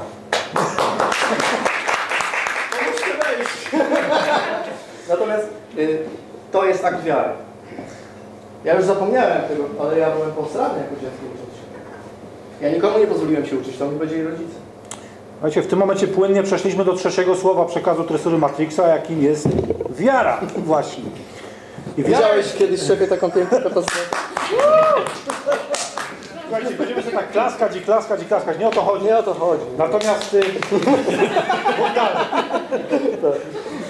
wiara jest wtedy, kiedy umysł y, zrozumie, że jest oprócz niego jeszcze serce. I kiedy zrobi dla niego miejsce. Wtedy rodzi się wiara, że tak jest. Kiedy ściszy potencjomet do takiego stopnia, że jego lęki przestaną być instrukcjami na życie, a zaczną być tym, czym pierwotnie mają być według swojego zamierzenia, czyli sygnałami maszynie, która mówi e, e, uzupełnij olej, e, e, e, uzupełnij nakrętki, e, e, e, serwis, serwis. To są, wiecie, nie, sytuacja życia z lęku to jest taka, kiedy ktoś przychodzi do fabryki i widzi palące się lampki, na przykład wymiany oleju i panikuje. A to, to tylko lampka. Tymczasem to jest, to jest reakcja, którą generalnie ja większość swojego życia reprezentowałem na taki sygnał. Wymień olej. Naprawdę, no. Będę musiał to wyciąć. Natomiast w sytuacji, w której przechodzimy do zdrowego podejścia do własnego lęku, czyli przeżywamy go świadomie, czyli postrywamy się znów totalnie świadomie, proszę za wyrażenie, panikujemy w pełni świadomie i rozumiemy, że a, a, a, a, olej trzeba wymienić. To, to wtedy rozumiemy, że to jest tylko kontrolka. Że wszystkie nasze lęki to są kontrolki, które Ona, będą ona, ma, ona ma prawo być, ten lęk ma prawo zaistnieć, tylko chodzi o to, żebyśmy nie panikowali, kiedy on się pojawi. Jednakowoż wiara. Dary losu. Y, Słuchajcie, ja y, w zeszłym tygodniu, kiedy Oleg miał spotkanie y, w Lublinie, zrobiłem sobie wakacje od tresury Matrixa i spotkałem się z moimi przyjaciółmi z dzieciństwa. Pierwsze, które opuścił. I słuchajcie, wyobraźcie sobie czterech, trzech facetów takich w wieku 46 lat, którzy się spotykają. Y, Dzięki. Dziękuję bardzo. Wyobraźcie sobie, zgadnijcie, o czym myśmy tam rozmawiali. Otóż rozmawialiśmy o naszych żonach i o naszych dzieciach. I e, zaczęliśmy się zastanawiać nad tym, na czym polega e, nasze życie. Ja im obiecałem, że nie będę nic mówił o tresurze Matrixa, więc zachowaliśmy się tak, jak tam w wieku... Inaczej go nie zapraszają. Andrzej będzie? Będzie. Powiedzieliście mu? Powiedzieliśmy. Zaakceptował? Tak. Dobra. Słuchajcie, myśmy doszli do wniosku, że ta- tacy ludzie właśnie w naszym wieku, w wieku 45-46 lat, faceci, e, oni robią wszystko, żeby zape- zapewnić byt tej swojej rodzinie i, e, i ten lęk napędzający to, że oni będą w stanie albo nie będą w stanie dać bezpieczeństwo tej swojej rodzinie powoduje, że oni zaczynają zapominać o sobie. Większość ludzi w tym wieku nawet nie ma swojego miejsca w swoim domu, na który pracował cały dzień, cały dzień, mówię, e, całe życie. Cały dzień pracowałem na tym domu. Wdzięczność? Jest dzisiaj, słuchajcie. Okazuje się, że może, mo- może być taka sytuacja, w której facet, który zapierniczał całe życie na dom, który kupił albo zbudował, nie ma tam e, mie- miejsca dla siebie. Mówimy nie ma swojego jesteśmy facetami. Kobiety Nie ma tam swojego miejsca, którym dokładnie to samo. mógłby powiedzieć tak, to jest moje miejsce i nikt tutaj nie wchodzi, ponieważ ja tutaj rządzę i ten dom jest moim celem i moim em, wydarzeniem w życiu. I potem się okazuje, że nawet jeżeli ma taki pokój, to on po 3 czy 4 latach używania jest pełny bielizny i różnych y, y, rzeczy, które akurat y, są suszone. On znalazł swój laptop y, w schowku na buty. bo to jest miejsce najmniej uczęszczane przez ludzi. Tak? Chodzi o to, żeby dać sobie przestrzeń do bycia w swoim świecie sobą. Jeszcze jest, no nie wiem, przykład y, dla, dla, dla wielu kobiet, na przykład, wiem, matka, która nie ma czasu, żeby poczytać książkę. No. To, jest, to jest adekwatny przykład ze strony kobiecej na przykład. Przykład, że na przykład, tak. Natomiast to, to jest bardzo ważny przykład, który Andrzej powiedział, ponieważ ja w swoim życiu dzięki temu wszystkiemu, yy, mając troszkę mniej latów wcześniej rozpoczynając, wpadłem w taki sam syndrom. I ja swoje życie zreformowałem pod tym kątem, rozumiejąc, że ja domu mieć nie będę. I nikt nie będzie miał nigdy domu, ponieważ ja go nie stworzę. Jeżeli ja go tak nie, zadom, nie zasiedlę, że on będzie mój. I na tej, na tej sali są świadkowie, którzy mogą potwierdzić, że, że ja dzisiaj dom mam. W 100% całkowicie, a to dlatego, że dom to nie są ściany, tylko to jest Tu nie chodzi o fizykę, to jest to, co myśmy mówili na samym początku. Tak. My nie mówimy ludziom, żeby życzyli sobie domu, który będzie miał 200 metrów kwadratowych, w którym będzie ogrzewanie m, podłogowe, m, które czerpie energię z ziemi e, i będzie ogród, y, który ma 60 metrów na 60 metrów. Bo jak nie, to nie chcę. I będą biegały dwa psy. Nie. Tu chodzi o to, Dwa. żeby mieć dom, w którym czuję się bezpiecznie i przyjemnie. Którym jestem u siebie. W którym jestem u siebie. Którym jestem sobą i nie muszę nic udawać. Z pełnym zaufaniem, że moja przestrzeń wie, ponieważ ja podświadomie wiem, co to znaczy być u siebie. Uuu, zaufanie. Ktoś nam zadał pytanie online, zdefiniujcie zaufanie, koledzy. Ciągle zaufanie, zaufanie, zaufanie. Miłość, zaufanie. Ja mam zaufanie. trzy definicje słownikowe. Która jest prawidłowa? Odpowiedź z naszej strony jest taka. Definicja zaufania nie istnieje. Ponieważ zaufanie, które funkcjonuje, jest pełną gotowością na siebie takim, jakim się jest, co uruchamia wszystkie możliwe potencjały bycia tym, kim się może być. To jest, przepraszam za wyrażenie, wasze uszy wrażliwe do dupy definicja. Ale ona mówi wszystko. Ponieważ wiara o której teraz mówimy, nie ma nic wspólnego z kulturystyką, czyli przekonaniem, że tak jest, tak jest, ja w to wierzę. Nie. To jest nadzieja. Nie mówimy o kulturystyce mentalnej, która mówi wierzę w to, że... I teraz wstaw. Dowolnie. Każdy z nas jest inny. Każdy tutaj czuje potrzebę użycia swojego własnego słowa, swojej własnej definicji. Dlatego nie ma uniwersalnej definicji słowa zaufania. Nie ma.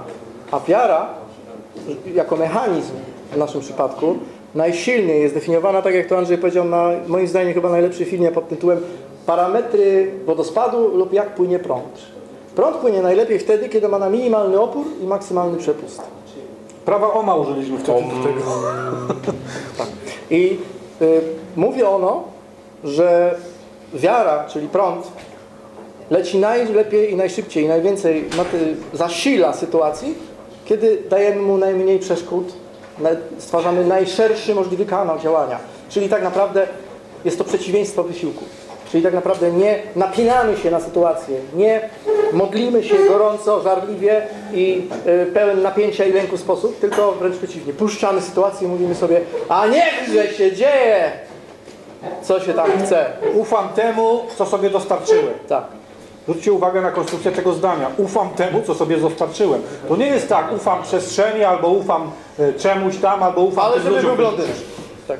Ufam temu, co sobie dostarczyłem. Jeszcze raz to podkreślę. To jest bardzo ważne, żeby zrozumieć perspektywę patrzenia na swoje życie.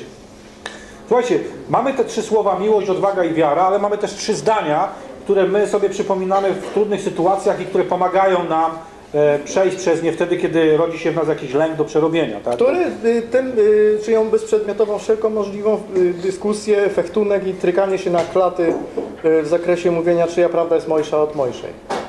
Bo to, to nie jest w ogóle powód, dla którego my w ogóle jadaczkę otwieramy. To, to dla nas to jest marnowanie powietrza i czasu. Nam się nie chce dyskutować sytuacjami i, i postaciami w naszym życiu, których głównym y, pasją jest a przekonaj mnie, a ja mówię, a nie. Nie robimy tego, żeby kogokolwiek przekonać do czegokolwiek. Absolutnie. Ja akceptuję to, że ty się ze mną nie zgadzasz i że w twoim życiu to, co ja mówię, jest kompletną bzdurą.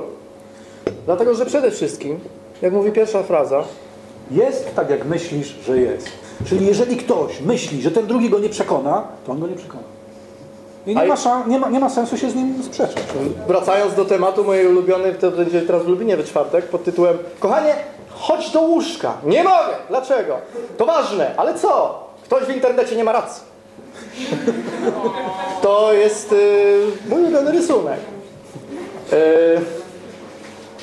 śniamy sytuację, iż ktoś na przykład uważa nas za debili. I szczerze mówiąc, możemy odpowiedzieć chyba tylko po to, żeby się zastanowić i pochylić nad emocją, która w nas powstaje, kiedy ktoś nam to zarzuca. Bo, o, kurczę, ktoś powiedział, że jestem niekompetentnym idiotą i drapie swój nos, a to jest sygnał, że, że podświadomie boję się, że kłamie. O kurczę, mowa ciała. On teraz cały czas tak robi. Ja, to, ja, ja jestem teraz koneserem tarcza nosa. Nawet bym łaciński termin ukuł, ale szkoda czasu. Słuchajcie, no, no jest, jest, jest to zdanie pod tytułem jest tak, jak myślisz, że jest. Czyli jeżeli uważamy, że nikt nas nie przekona do naszego zdania, to nikt nas nie przekona do naszego zdania. Jeżeli uważamy, że wszyscy nas będą ignorować, to wszyscy nas będą W ignorować. skrócie, każdy z nas ma rację. Każdy w swoim świecie ma rację, ponieważ tworzona przez niego rzeczywistość jest wynikiem jego nastawienia, a więc w jego świecie jego rzeczywistość jest tylko i wyłącznie jego kwestią nastawienia. Różnica między, powiedzmy sobie, tresurem, treserem Matrixa, a człowiekiem, który nie stosuje tresury i Matrixa, zakłada w tym, że treser Matrixa akceptuje to, że jego sytuacji, w jego świecie on jest nieomylny i wszyscy inni również. I jemu to w ogóle nie przeszkadza. Ponieważ każdy z nas w tym świecie ma rację i jak to lubimy mówić, i niech ktoś spróbuje się z tym nie zgodzić. No więc właśnie. E, Ponieważ e, naprawdę to jest bezprzedmiotowe przekonywanie innych, że to, co my mówimy, to jest prawda. To, jest, to przeczy w ogóle wszelkiej dynamice i sensu powstania tego, o czym w ogóle robimy, po co my rano wstajemy z łóżka i dlaczego my zamiast sie- siedzieć tu, nie siedzimy na przykład e, teraz często popijając kawę i bawiąc się tymi wszystkimi gadżetami muzycznymi, które Andrzej ciągle kupuje. Tak, Co ja uwielbiam osobiście. Ale słuchajcie, ja wam powiem odnośnie tych Świetny gadżetów taką, taką, taką mówisz. dykteryjkę. E, e, e, Jest film w internecie. Dwa lata temu bodajże myśmy mieli e, tak, tak porozwalane biznesy swoje, że nie wiem, ja miałem, e, zostało mi tam ostatnie 2000, Olek w ogóle nic nie miał i poszliśmy do sklepu muzycznego i tam Olek dorwał jakiś bębenek, a ja gitarę. To na Rabukę, co była z wami w Szwajcarii. I słuchajcie, i ja zadzwoniłem do żony, mówię, słuchaj Ela, e, zostały nam ostatnie 2000 i e, słuchaj, jeżeli ja sobie nie kupię gitary, to my te 2000 i tak przejemy, a jak kupimy gitarę, to może nam się poprawi. Ale słuchajcie, ja siedziałem jak po prostu, jak Jasiu Fasola na horrorze obserwowałem tę sytuację mówię, i co ona teraz powie. Ja z mojego doświadczenia byłem przekonany, że usłyszę z drugiej strony sławki Tymczasem z drugiej strony słyszę no, no, nie no. Skoro czujesz, Andrzej- że tak musisz zrobić, to tak zrób. Ja tą gitarę mam. I mnie kopara obiła kolana natychmiast. I ja stwierdziłem, dobrze, to ja teraz życzę sobie czuć się tak w swoim życiu partnerskim jak ten facet. Zwróćcie uwagę, ja nie złożyłem zamówienia na konkretną postać z kreskówki, którą chciałbym dostać, tylko ja chciałem poczuć się w swoim życiu partnerskim. Cholera, mogłem dostać faceta. To mogło być wszystko, to mogło być spanie. Jakie ryzyko, nie? Jednakowoż, Albo podlica. albo, albo podlica. Jednakowoż, ja w moim życiu otrzymałem y, y, jedną, mój obecny estetyczny i, i intelektualno-duchowy ideał kobiecości, który, której, której muzyki słuchałem przez 5 lat i moje życie emocjonalno-partnerskie wygląda tak, uwaga, jakby się słuchało Rolling Stonesów i wyszło za Jaggera. To do kobiet jest, nie do facetów. Słuchajcie, ja wrócę do tej gitary. Trochę niezręczne porównanie. Do tej gitary. Szczególnie z tą estetyką. Słuchajcie, wrócę, wrócę do tej gitary, do, tego, do, tej, do tej sytuacji w tym sklepie muzycznym, do tego, do, tego, do, tej, e, do tego statusu materialnego. Ja wtedy myślałem, że to są ostatnie pieniądze, które będę miał i wiedziałem, że moje, moja sytuacja materialna jest do dupy, tak? Czyli myślałem tak jak myślałem, miałem tak jak chciałem. I tak, i byście to zrobili grupowo, znaczy zespołowo, duetowo. Ponieważ Andrzej powiedział, przez, wychylił się za monitora, powiedział, no i co? Ja powiedziałem, a ja też. Ja też ostatni grosze, jakie wtedy miałem, polazłem do, z nim do tego, do tego sklepu każdy Otóż- na co było stać. Drugim zdaniem, które my promujemy w tresurze Matrixa jest zdanie mówiące o tym, że w każdej chwili możesz wszystko zmienić. I to zależy tylko od Ciebie. Właśnie tak. Akceptując to, że masz przesrane. Ja w tym momencie, kiedy miałem tą gitarę w ręce i tam te 2000 na koncie, wiedziałem, że mam przerąbane. Ale podjąłem decyzję, tak? Zmieniam moje życie. Chcę Ja sobie kupić gitarę, żeby ewentualnie mieć na czym zarabiać pieniądze. Ja miałem 120, tak. Ja też miałem 120 zł na koncie. Znaczy nie, ja nie miałem konta. Ja miałem 120 zł w kieszeni. I też kupiłem bęben, który okazuje się później mieścił sobie wiele więcej pieniędzy niż sam był wart. I słuchajcie, myśmy wtedy podjęli decyzję o tym, że możemy zmienić nasze podejście do tego momentu, w którym wtedy w tym sklepie Tak. muzycznym się zna, zna, znaleźliśmy. Czyli każdy z nas jakby wydał ostatnie pieniądze. Mózg mówi, co ty robisz chłopie, kurczę, jutro nie będziesz miał na chleb. Dzieci Cukier, kasza, mąka! I A, ser, a serce mówiło, kup i wydobądź dźwięki. Ciesz się. Pokaż, jak wygląda twoje zadowolenie. Chcę to zobaczyć. Czego byście posłuchali? Właśnie. To jest ten moment, Ja w którym chodzą ciary. Do dzisiaj słucham. Tak. Ja wtedy kupiłem tą gitarę i od tamtego czasu już mam drugą gitarę, mnóstwo innych fajnych gadżetów. Y, Firma się rozwija, my się spotykamy z Olegiem na takich spotkaniach jak tutaj. Ja nie wiem, czy to by się stało, gdybym ja wtedy tej gitary nie kupił, ale nie roz, rozczulam się nad tym. Ponieważ ostatnim zdaniem, które my promujemy w tresurze Matrixa, jest zdanie mówiące o tym, że tak naprawdę istnieje tylko miłość. Wszystko inne jest tylko brakiem tej miłości. lub świadomością i poczuciem, że jej nie ma, czyli nie, świadomie wytworzoną gdzieś w którymś punkcie życia niewiedzą na swój własny temat. To jest tak jak z tą historią o ciemności. Ciemności nie można stopniować, natomiast jasność można stopniować. Możemy zbadać, jak jasno świeci ta żarówka. Natomiast ciemność jest brakiem światła. Tak samo jak nasze życie może być brakiem miłości. Albo wypełnione miłością po brzegu. To od nas zależy, którą stroną pójdziemy. Czym zaczniemy inspirować nasze życie, czym zaczniemy inspirować naszą przestrzeń. Fizjologiczną alegorią, z którą wymyśliliśmy w Gdańsku jest taka, że nasze instynktowne pragnienie wody wynika z faktu, że nasz organizm jest z niej zbudowany. A nasze instynktowne pragnienie miłości wynika że, z tego, że nasza świadomość jest z niej zbudowana. I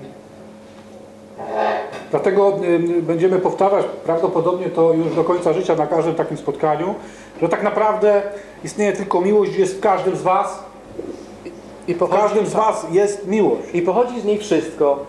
Bankructwa, światowe systemy korporacyjne, wojny, y, miny przeciwpiechotne, dobra herbata, cudowne związki, wspaniali Fajne, przyjaciele, fajne samochody. fajne samochody, można i Wspaniałe te strony.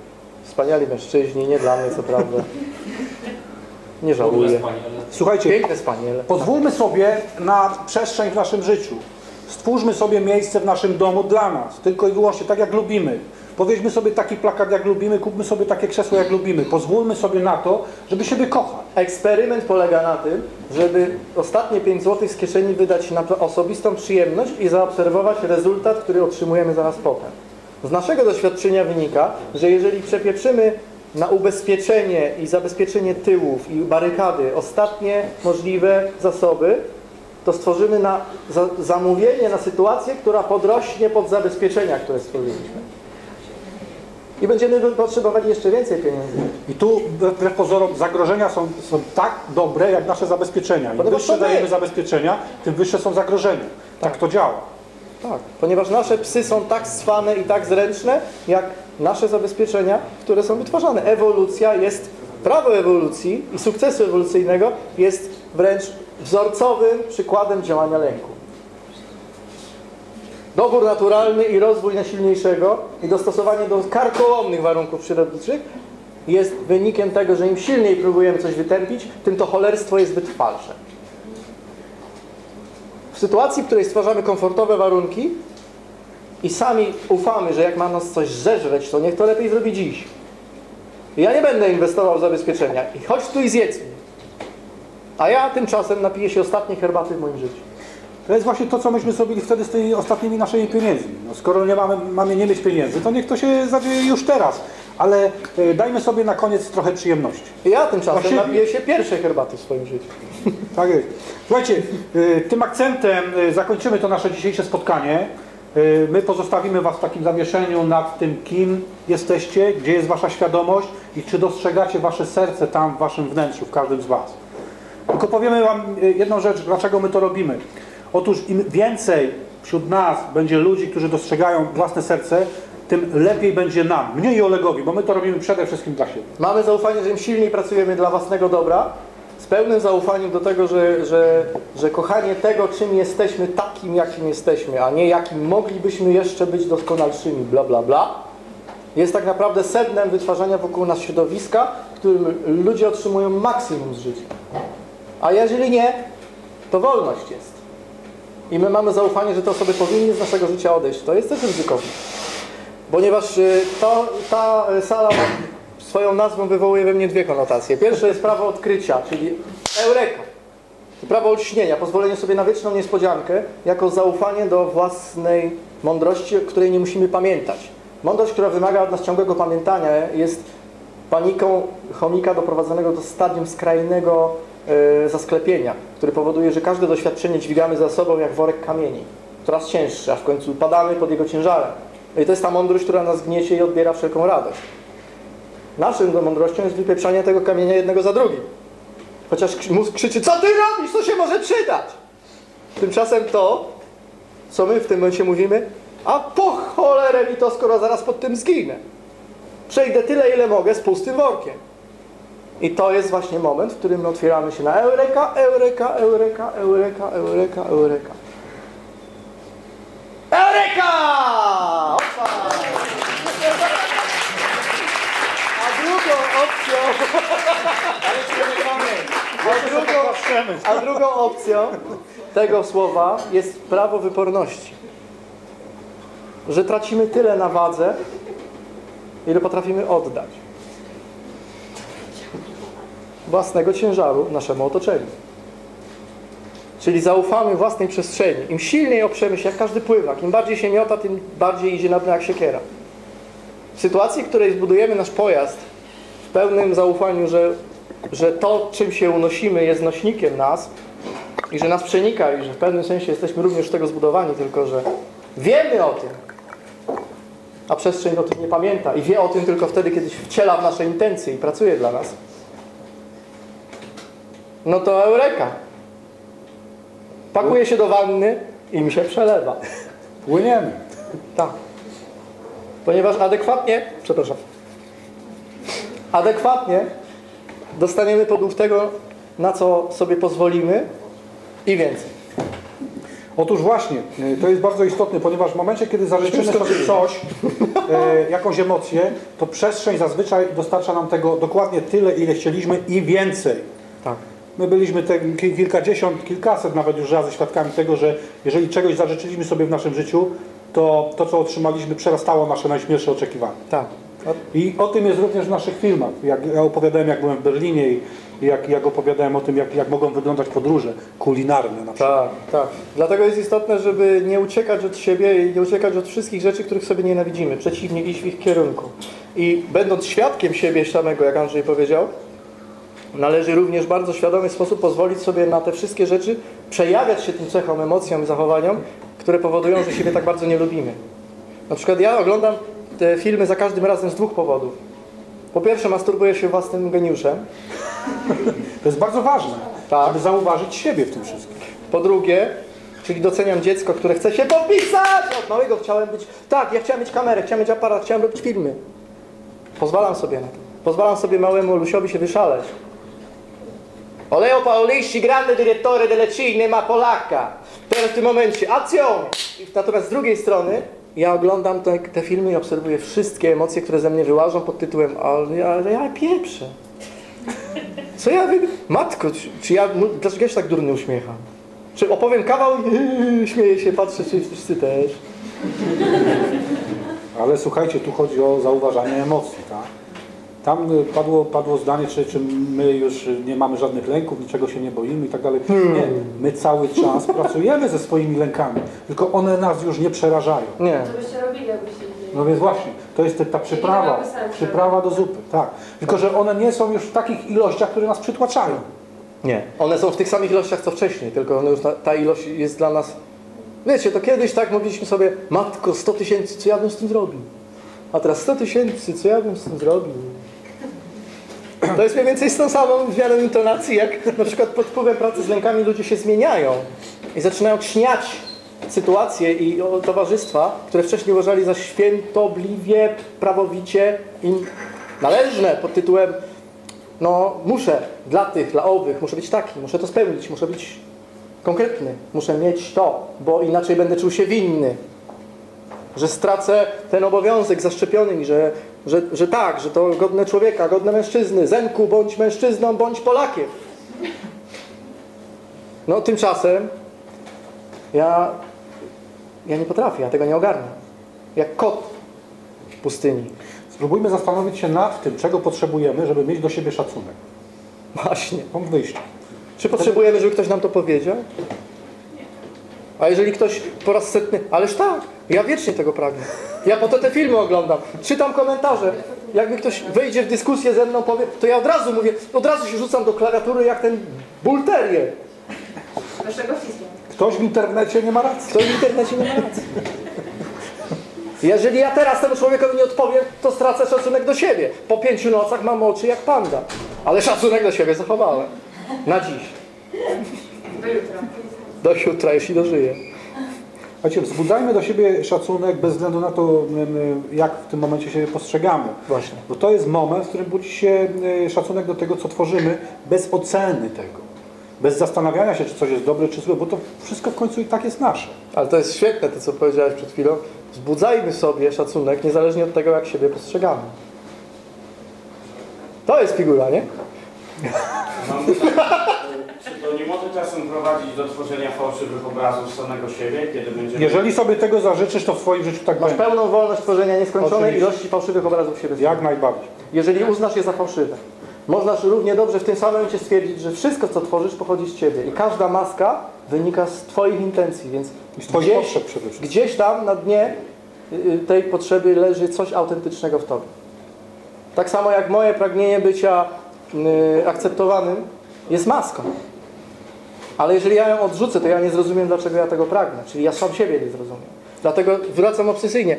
Bycie świadkiem siebie tak, ale w pełnym puszczeniu y, hamulca i pozwoleniu rozpędzenia się emocji. Uwaga, tata będzie się wkurzał. Jedno pytanie, skoro w takim razie to, co jest na powierzchni jest maską, to równie dobrze możemy uznać, że jesteśmy warstwowi i wszystkie nasze rzeczy są maskami. To jaki jest główny sens tego, co wy mówicie, jeżeli w końcu wszystko, czym jesteśmy, może być maską? Wszystko, czym jesteśmy, jest miłością. Wszystko, czym jesteśmy, jest miłością. Maska Natomiast też. jeżeli pozwalasz sobie na te maski, one w Twoim życiu będą. Jest tak, jak myślisz, że jest. Pytanie, czy chcesz y, y, w nich żyć, y, czy chcesz się im przyjrzeć. Jeżeli już są, jeżeli czujesz, że jest, zasłaniasz się przed sytuacjami, y, czymś, co wymaga od Ciebie wysiłku, bo noszenie maski wymaga wysiłku. Musisz wstać rano i ją przykleić. Musisz wstać rano i zrobić makijaż. Musisz utrzymać mięśnie w odpowiednim naprężeniu, żeby ta maska wyglądała tak, jak chcesz, żeby wyglądała. Jeżeli to czujesz, jeżeli to kosztuje Cię wysiłek, to, nie, to musisz zwrócić uwagę, dlaczego tego potrzebujesz. Ale jeżeli nie wiem, co czuję, bo nie znam na tyle swoich uczuć, to jak według Waszej koncepcji wtedy się poruszać? Należy poprosić o pomoc. Ale siebie. Z zaufaniem do przestrzeni, że ta pomoc Ci zostanie dostarczona w najlepszy dla Ciebie sposób. Tu nie chodzi o pomoc fizyczną. Ty zgłaszasz zapotrzebowanie na emocję zwaną pomocą. I to przestrzeń zrozumie natychmiast. No niestety inaczej tego niż doświadczalnie nie da się sprawdzić. Trzeba sobie pozwolić na to, że potrzebujesz pomocy od siebie. Tak. Ponieważ wszystkie odpowiedzi są w Tobie. Słuchajcie, zaczną się zaraz pytania. Ja zakończę teraz oficjalną część po to, żeby ci ludzie, którzy nas będą oglądali, przychodzili na nasze spotkania, bo na nasze spotkania warto przychodzić, ponieważ my w pewnym momencie wyłączamy kamerę i wtedy się dopiero zaczyna jazda. Dziękuję bardzo. Proszę bardzo. Mówisz, że, mówisz, że y, nie będzie nikogo, kto będzie dbał o nosie? Szczerze powiedziawszy, mam nadzieję, że, że przetestują w ten sposób moją koncentrację. Powiem tak, no, jeżeli nikt tego nie zrobi, to ja to zrobię. No słuchaj, to Tego jeszcze nie było. tworzysz następnego kota, nie? Tak, tak. Bez dubania w nosie nie ma przekazu. Nie ma przekazu. No nic. W międzyczasie ja sprawdzam, kto do nas pisze. Tak jest. Herbeta tylko od marchewki. A propos blokowania produktu. coś, coś wydaje, tak jest. Herbata tylko od marchewki. Jesteśmy na Śląsku, ja czuję tam pnięcie, ja nie wiem jak ty. Ja też. Tak? Wiesz, grunt jest niestabilny, jesteśmy na wyrobisko. Dobra. Powiem, powiem szczerze, że kiedyś pracowałem w Katowicach na trzech stawach i tam bardzo często się zdarzało coś takiego, że było normalnie budynki yy, pracowały, było tam pnięcie. Wtedy wszyscy wychodzili na dwór i palili papierosy.